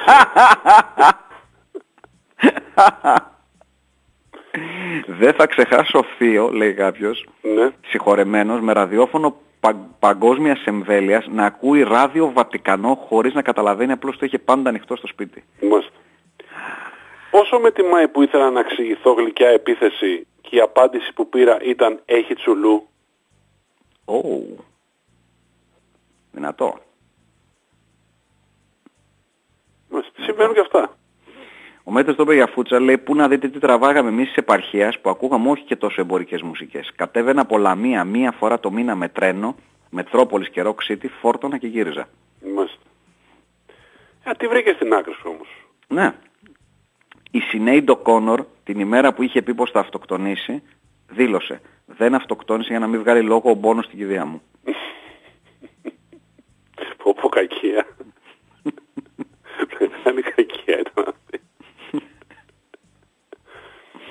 Μάλιστα. Του ρίλου το χαϊφάι μπουρί, μπουγάτσα με μπεκάτσα. Λεάντρα για Παρασκευή, γυρεύει που είναι η ντάτσα. Ή αράμ στον γκίζι τριγυρνά, ταράτσα σε ταράτσα. Λέει ο Χριστόφορος Ζαραγλίκος. Μάλιστα. Είμαι αυτός που σας είχα στείλει πριν κάνα χρόνο για το τρίο με τα παντρεμένα MILF, με έκανε σποτάκι και ο Βλάντ. Θα σας στείλω αύριο mail με εξελίξεις, έτσι σαν τυράκι. Πολύ καλά. Μεγάλη αλήθεια από τον Νίκο Γκαγκαβαδία την καθαρή Δευτέρα, καθα κανείς δεν θα παραπονεθεί ότι έσκασε το φαγητό. Γιατί, δεν το καταλαβαίνω αυτό. Για ξαναπες Καλά. το συγγνώμη. Διότι τη Μεγάλη Δευτέρα κανείς δεν θα παραπονεθεί ότι έσκασε το φαγητό. Γιατί όμως; Την καθαρά Δευτέρα. Ναι. Ε, εντάξει, γιατί αυτά που τρως τώρα δεν είναι και τόσο πολύ για χόρταση τώρα. Δεν είναι... Εγώ νομίζω ότι έχει να κάνει με το αν θα είσαι έξω ή όχι αυτό νομίζω. Όχι, νομίζω ότι είναι με Α, το όχι. μενού της καθαρά Δευτέρας, Α, οκ, πιστεύω. ok, ok, ok. Εντάξει. Εντάξει είναι αυτό. Ε, Μείνε μαζί μου και μη μ' αγαπήσεις, μόνο τα χάδια σου να μου χαρίσεις και λίγο λίγο θα με συνηθίσεις. Αν το παίξεις ανάποδα, ακούγεται ο Τσαλταμπάσης να ερμηνεύει μικρό πρίγκιπα. Λέει ο Στραντιβάριος. Κάποτε έμαθα από την έδρα ότι ο Τσα Ντούρι της Κορέας είναι ο γιος του Μπούκουμ Τσα. Ισχύει, ναι. ναι. Ναι, κοιλιά Εμφραπέ. Ισχύει. Είναι αλήθεια. 40 χρόνια μας μεγάλωσαν με τα στρομφάκια της φαλοκρατίας και της θυματοποίησης της καθιάς τρομφίτας. Ευτυχώς δεν το έχουν πάρει χαμπάρι οι γυναίκες μας. Έτσι. Το χαρτί από τη σοκοφρέτα είναι αξιοπρέπεια. Η μεμβράνη μεταξύ καπακιού και τζατζικιού είναι κατάντημα. Κάτι φίλοι μου, όχι εγώ. Πείτε στο φίλο, το That's When I Reach For My Revolver είναι το Mission of Burma το 1981. Του Mob ήταν διασκευή. Ναι, Ε, το, ισχύει. του Mob ήθελε να βρει ο άνθρωπος. Τι είπες Παναγιώτη; Και ισχύει. Είπε ισχύει, ισχύει. Α, μάλιστα. Ναι. Ε, Κύριε Κωστά, θέλετε να γίνει τη βελόνα που θα χαράξει το βινίλιο μου; Κούλης, Νιουκαστιώτης, 1.46, απαλός αριζόγαλο. Έχασα το ρολόι μου και δεν βλέπω την ώρα να με χαρχαλέψετε. κάποιος χαρίζει το τάσος του Βίγκαν. Ωραία. Έτσι. Προ 20 ετίας, λέει ο Μπράζας Μπίτερ, είχα διαφωνία με φίλο και θέλω τη βοήθεια. Καλά, συγγνώμη, εσύ τώρα θυμάσαι διαφωνία πριν από 20 χρόνια, σοβαρά. Αν ήταν τώρα; σημαντική, αν ήταν σημαντική βεβαίως και τη θυμάται. Ποιο είναι πιο δημοφιλές, παύλε εμπορικό συγκρότημα, η Μετάλλικα ή η U2. Το δημοφιλές παύλε εμπορικό, πο- πο- πολύ ανοιχτό ερώτημα μου ακούγεται. Ναι. Εγώ δεν ξέρω, δεν ξέρω, δεν μπορώ να πω. Δεν μπορώ να πω, δεν έχω απάντηση σε αυτό, συγγνώμη. Δεν ξέρω. Πάντως εγώ το μόνο που ξέρω, πρέπει να το έχουμε, συ- το έχουμε συζητήσει και πρόσφατα στην εκπομπή, είναι ότι η συναυλία των Μετάλλεγα στην, στη Μόσχα, στην Κόκκινη Πλατεία, που είχε εκτιμήσεις λένε από 600.000 μέχρι 1,5 εκατομμύριο κόσμο, είναι κάτι το οποίο δεν το ξανακάνει ποτέ κανείς. Από εκεί και πέρα ψάξει να βρει ο καθένας ποιο είναι το πιο δημοφιλές συγκρότημα. Ναι.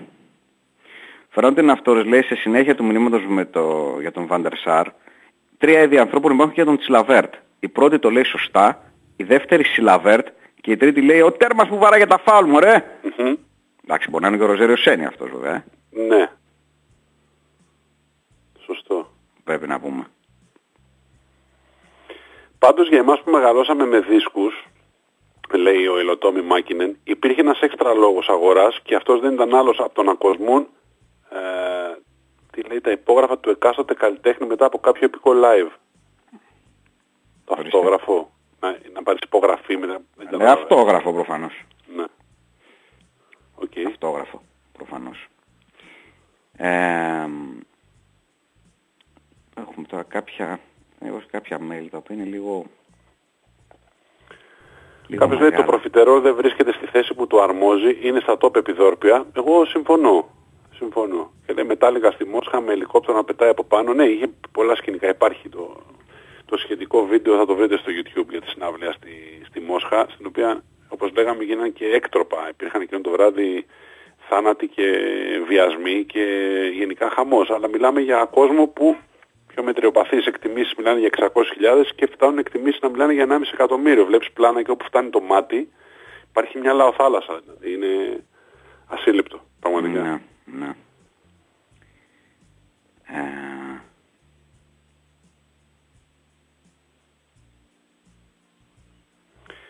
Λέει ο Walt Disney έβγαλε επίσημα το soundtrack του The Force Awakens, το Star Wars, σε κασέτα. Οπότε δεν είναι μόνο ειδήσει στα βινίλια, λέει, και οι κασετούλες έχουν ψυχή. Ολόκληρη η Disney τη θυμήθηκε. Βέβαια το πρόβλημα είναι ότι οι κασέτες χαλάνε μετά από κάποιο χρονικό διάστημα. Δηλαδή υπάρχει σοβαρός κίνδυνος να, απο... πώς το λένε, να απομαγνητιστούν, Αλλά τα λες. Κάπως έτσι, ναι. να Κάπως έτσι. αλλοιωθούν εν πάση περιπτώσει και να μην παίζουν. Αυτό είναι το πρόβλημα. Επίσης, ξέρεις, ε, pick-up βγαίνουνε τέλος πάντων. Κασετόφωνα βγαίνουνε. Είναι η απορία μου. Υπά, υπάρχουν, αν ρωτάς στην αγορά, δεν νομίζω ότι βγαίνουν με την έννοια ότι γίνεται παραγωγή. Α, Αυτή είναι η δική μου αίσθηση. Γιατί πιο pick-up καινούργιο- βγαίνουν. το Θέλω να πω, από τη στιγμή που ξανά ξαναβγαίνουν τα βινίλια, έχω πετύχει, έχω δει να βγαίνουν και pick-up. Και, ενώ καινούργια pick-up. Όχι κάποιοι που τα είχαν, ξέρεις, αποθήκη, τα πουλάνε. Ε, το πιο καινούριο που έχει κυκλοφορήσει σε κασετόφωνο είναι ένα μηχανηματάκι το οποίο το συνδέει απευθείας με USB ούτως ώστε να σώσει ο χρήστης τα αρχεία από την κασέτα κατευθείαν στον υπολογιστή. Έχει βάλει γκολ η Juventus το οποίο ακυρώθηκε σωστά ως offside και πριν από λίγο είχε οριζόντιο δοκάρι νομίζω με τον Guardado. Μάλιστα. Στο, τρία, στο τρίτο λεπτό των καθυστερήσεων είναι από τα πέντε αυτά. Μάλιστα. Μάλιστα. Πάμε για παράτα δηλαδή, ε. Εδώ. Και το άλλο είναι στο έκτο λεπτό των καθυστερήσεων. Ναι, Να είναι βλέπω πολύ καλά. πιο κοντά στη λήξη αυτό. Ναι. Ξεκινήσει αργότερα. Ε, λοιπόν. Ισοφάριση Σεβίλλη, 2-2. Πολύ ωραία κεφαλιά. Πάλι δεν έχω το σκορ. έτσι. Ο, Ελνε, ο Εν Νεσίρι είναι ο ίδιος. Οκ. Ε, πα- απομένουν 15 δευτερόλεπτα για να τελειώσει το παιχνίδι βέβαια. Γιατί να μην είναι 15 λεπτά τώρα.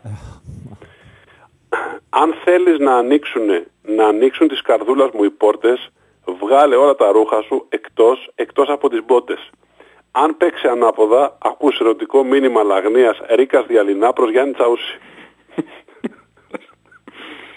Ο Τζόρτζι Στράτογλου μας έχει στείλει το εξής. Λέει με αφορμή τη φωτογραφία του Γκονζάλο του Ιγουαΐν με τη φαλακρίτσα και το μουσι.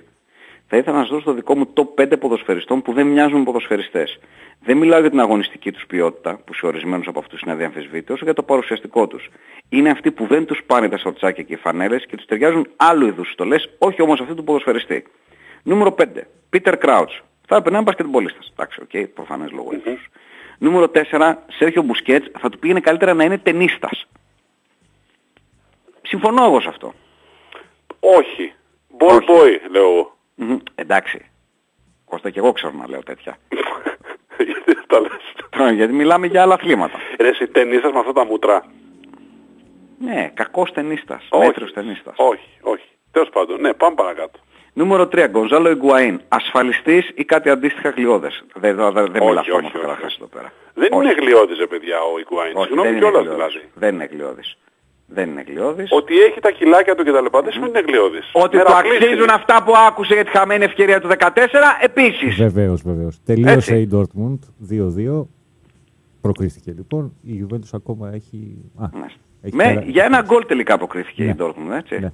Ε, εντάξει, Παραλίγο, χαλαρώσαμε στο παραλίγο τέλος. να γίνει Ναι. στο τέλος εκεί μια κέντα, αλλά δεν πέρασε. Ε, λοιπόν, Χαλαρώσαμε στο τέλος εμείς οι Βετ- Βεσφαλοί. Τι να κάνουμε τώρα; νούμερο 2, Λιδιέ Ζηρού, Λοχίας ή Μπάρμαν σε παραλιακό κλαμπ. Μ' αρέσει το δεύτερο. Ωραία. Και νούμερο 1, Χάρι Κέιν, θα του πήγαινε οτιδήποτε με γραβάτα και κουστούμι. Αυτός είναι ασφαλιστής που λες. Ναι, Αυτός ρε. είναι ιατρικός επισκέπτης. είναι. Είναι ρε εσύ, δεν είναι; Κύριε Κωστά, θέλετε να έρθετε στη βίλα μου στο Καστρί να μιλήσουμε για δίσκους, κασέτες και CD. Λεωνάρδος, 211, 111 κιλά, πρώην σέντερ σε ομάδα ΕΣΚΑΝΑ. Εντάξει παιδιά, στην αυλαία στη Μόσχα το Metallica ήταν Metallica, ήταν ACDC, πριν από αυτό έπαιζαν οι Pantera, ok. Υπάρχει το βίντεο, εν πάση περιπτώσει, με το Enter Sandman που είναι, εντάξει, είναι μυσταγωγικό. Οκ. Θέλετε να πούμε ACDC, καμία αντίρρηση, τους αγαπάμε επίσης. Εμείς που τους αγαπάμε περισσότερο τους ACDC, ας πούμε, γιατί δεν έκαναν και ποτέ εκπτώσεις. Να μην ανοίξουμε αυτή την κουβέντα. Για τις εκπτώσεις Αλήθεια είναι των αυτό. Metallica, Επίσης, ναι. Επίσης όπως λέει πάντα και ο Ρα- και ο Ηρακλής Αντίπας που είναι μεγάλος φαν, υπάρχει μια φανταστική συνέντευ, ε, συναυλία συγγνώμη, των ε, ACDC στο, στο Monumental, στο γήπεδο της, στην έδρα της, ε, της River, με ένα πραγματικά αφιονισμένο κοινό. Είδα λίγο, είδα λίγο γιατί επέμενε ο Ρακλής Αντίπας, Μμμ. ε, και είναι αλήθεια ότι μιλάμε, ξέρεις, δεν είναι κοινό, είναι ένα, ένα κύμα.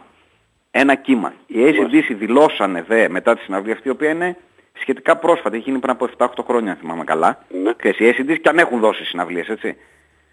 Και είπαν πραγματικά τέτοιο κόσμο δεν έχουμε ξαναδεί πουθενά Ναι. στη συναυλία μας. Εντυπωσιακή. Και ξέρεις, ποιος φανταζόταν ότι οι, α, οι Αργεντινοί θα είναι οι μεγαλύτεροι ACDC όφιλοι, έτσι. Μμμ, μμμ. Οι hard rock Ελαραμπή bands καρβουνά έχουν- σε, ναρ, σε ναργι- ναργιλεδάδικο στα καμίνια. Μου αρέσει. Τι είπες Παναγιώτη Ριλέ. Οι hard rock μπάντες στην Αργεντινή και στη Βραζιλία έχουν πολύ μεγάλη πέραση και τεράστιο κοινό.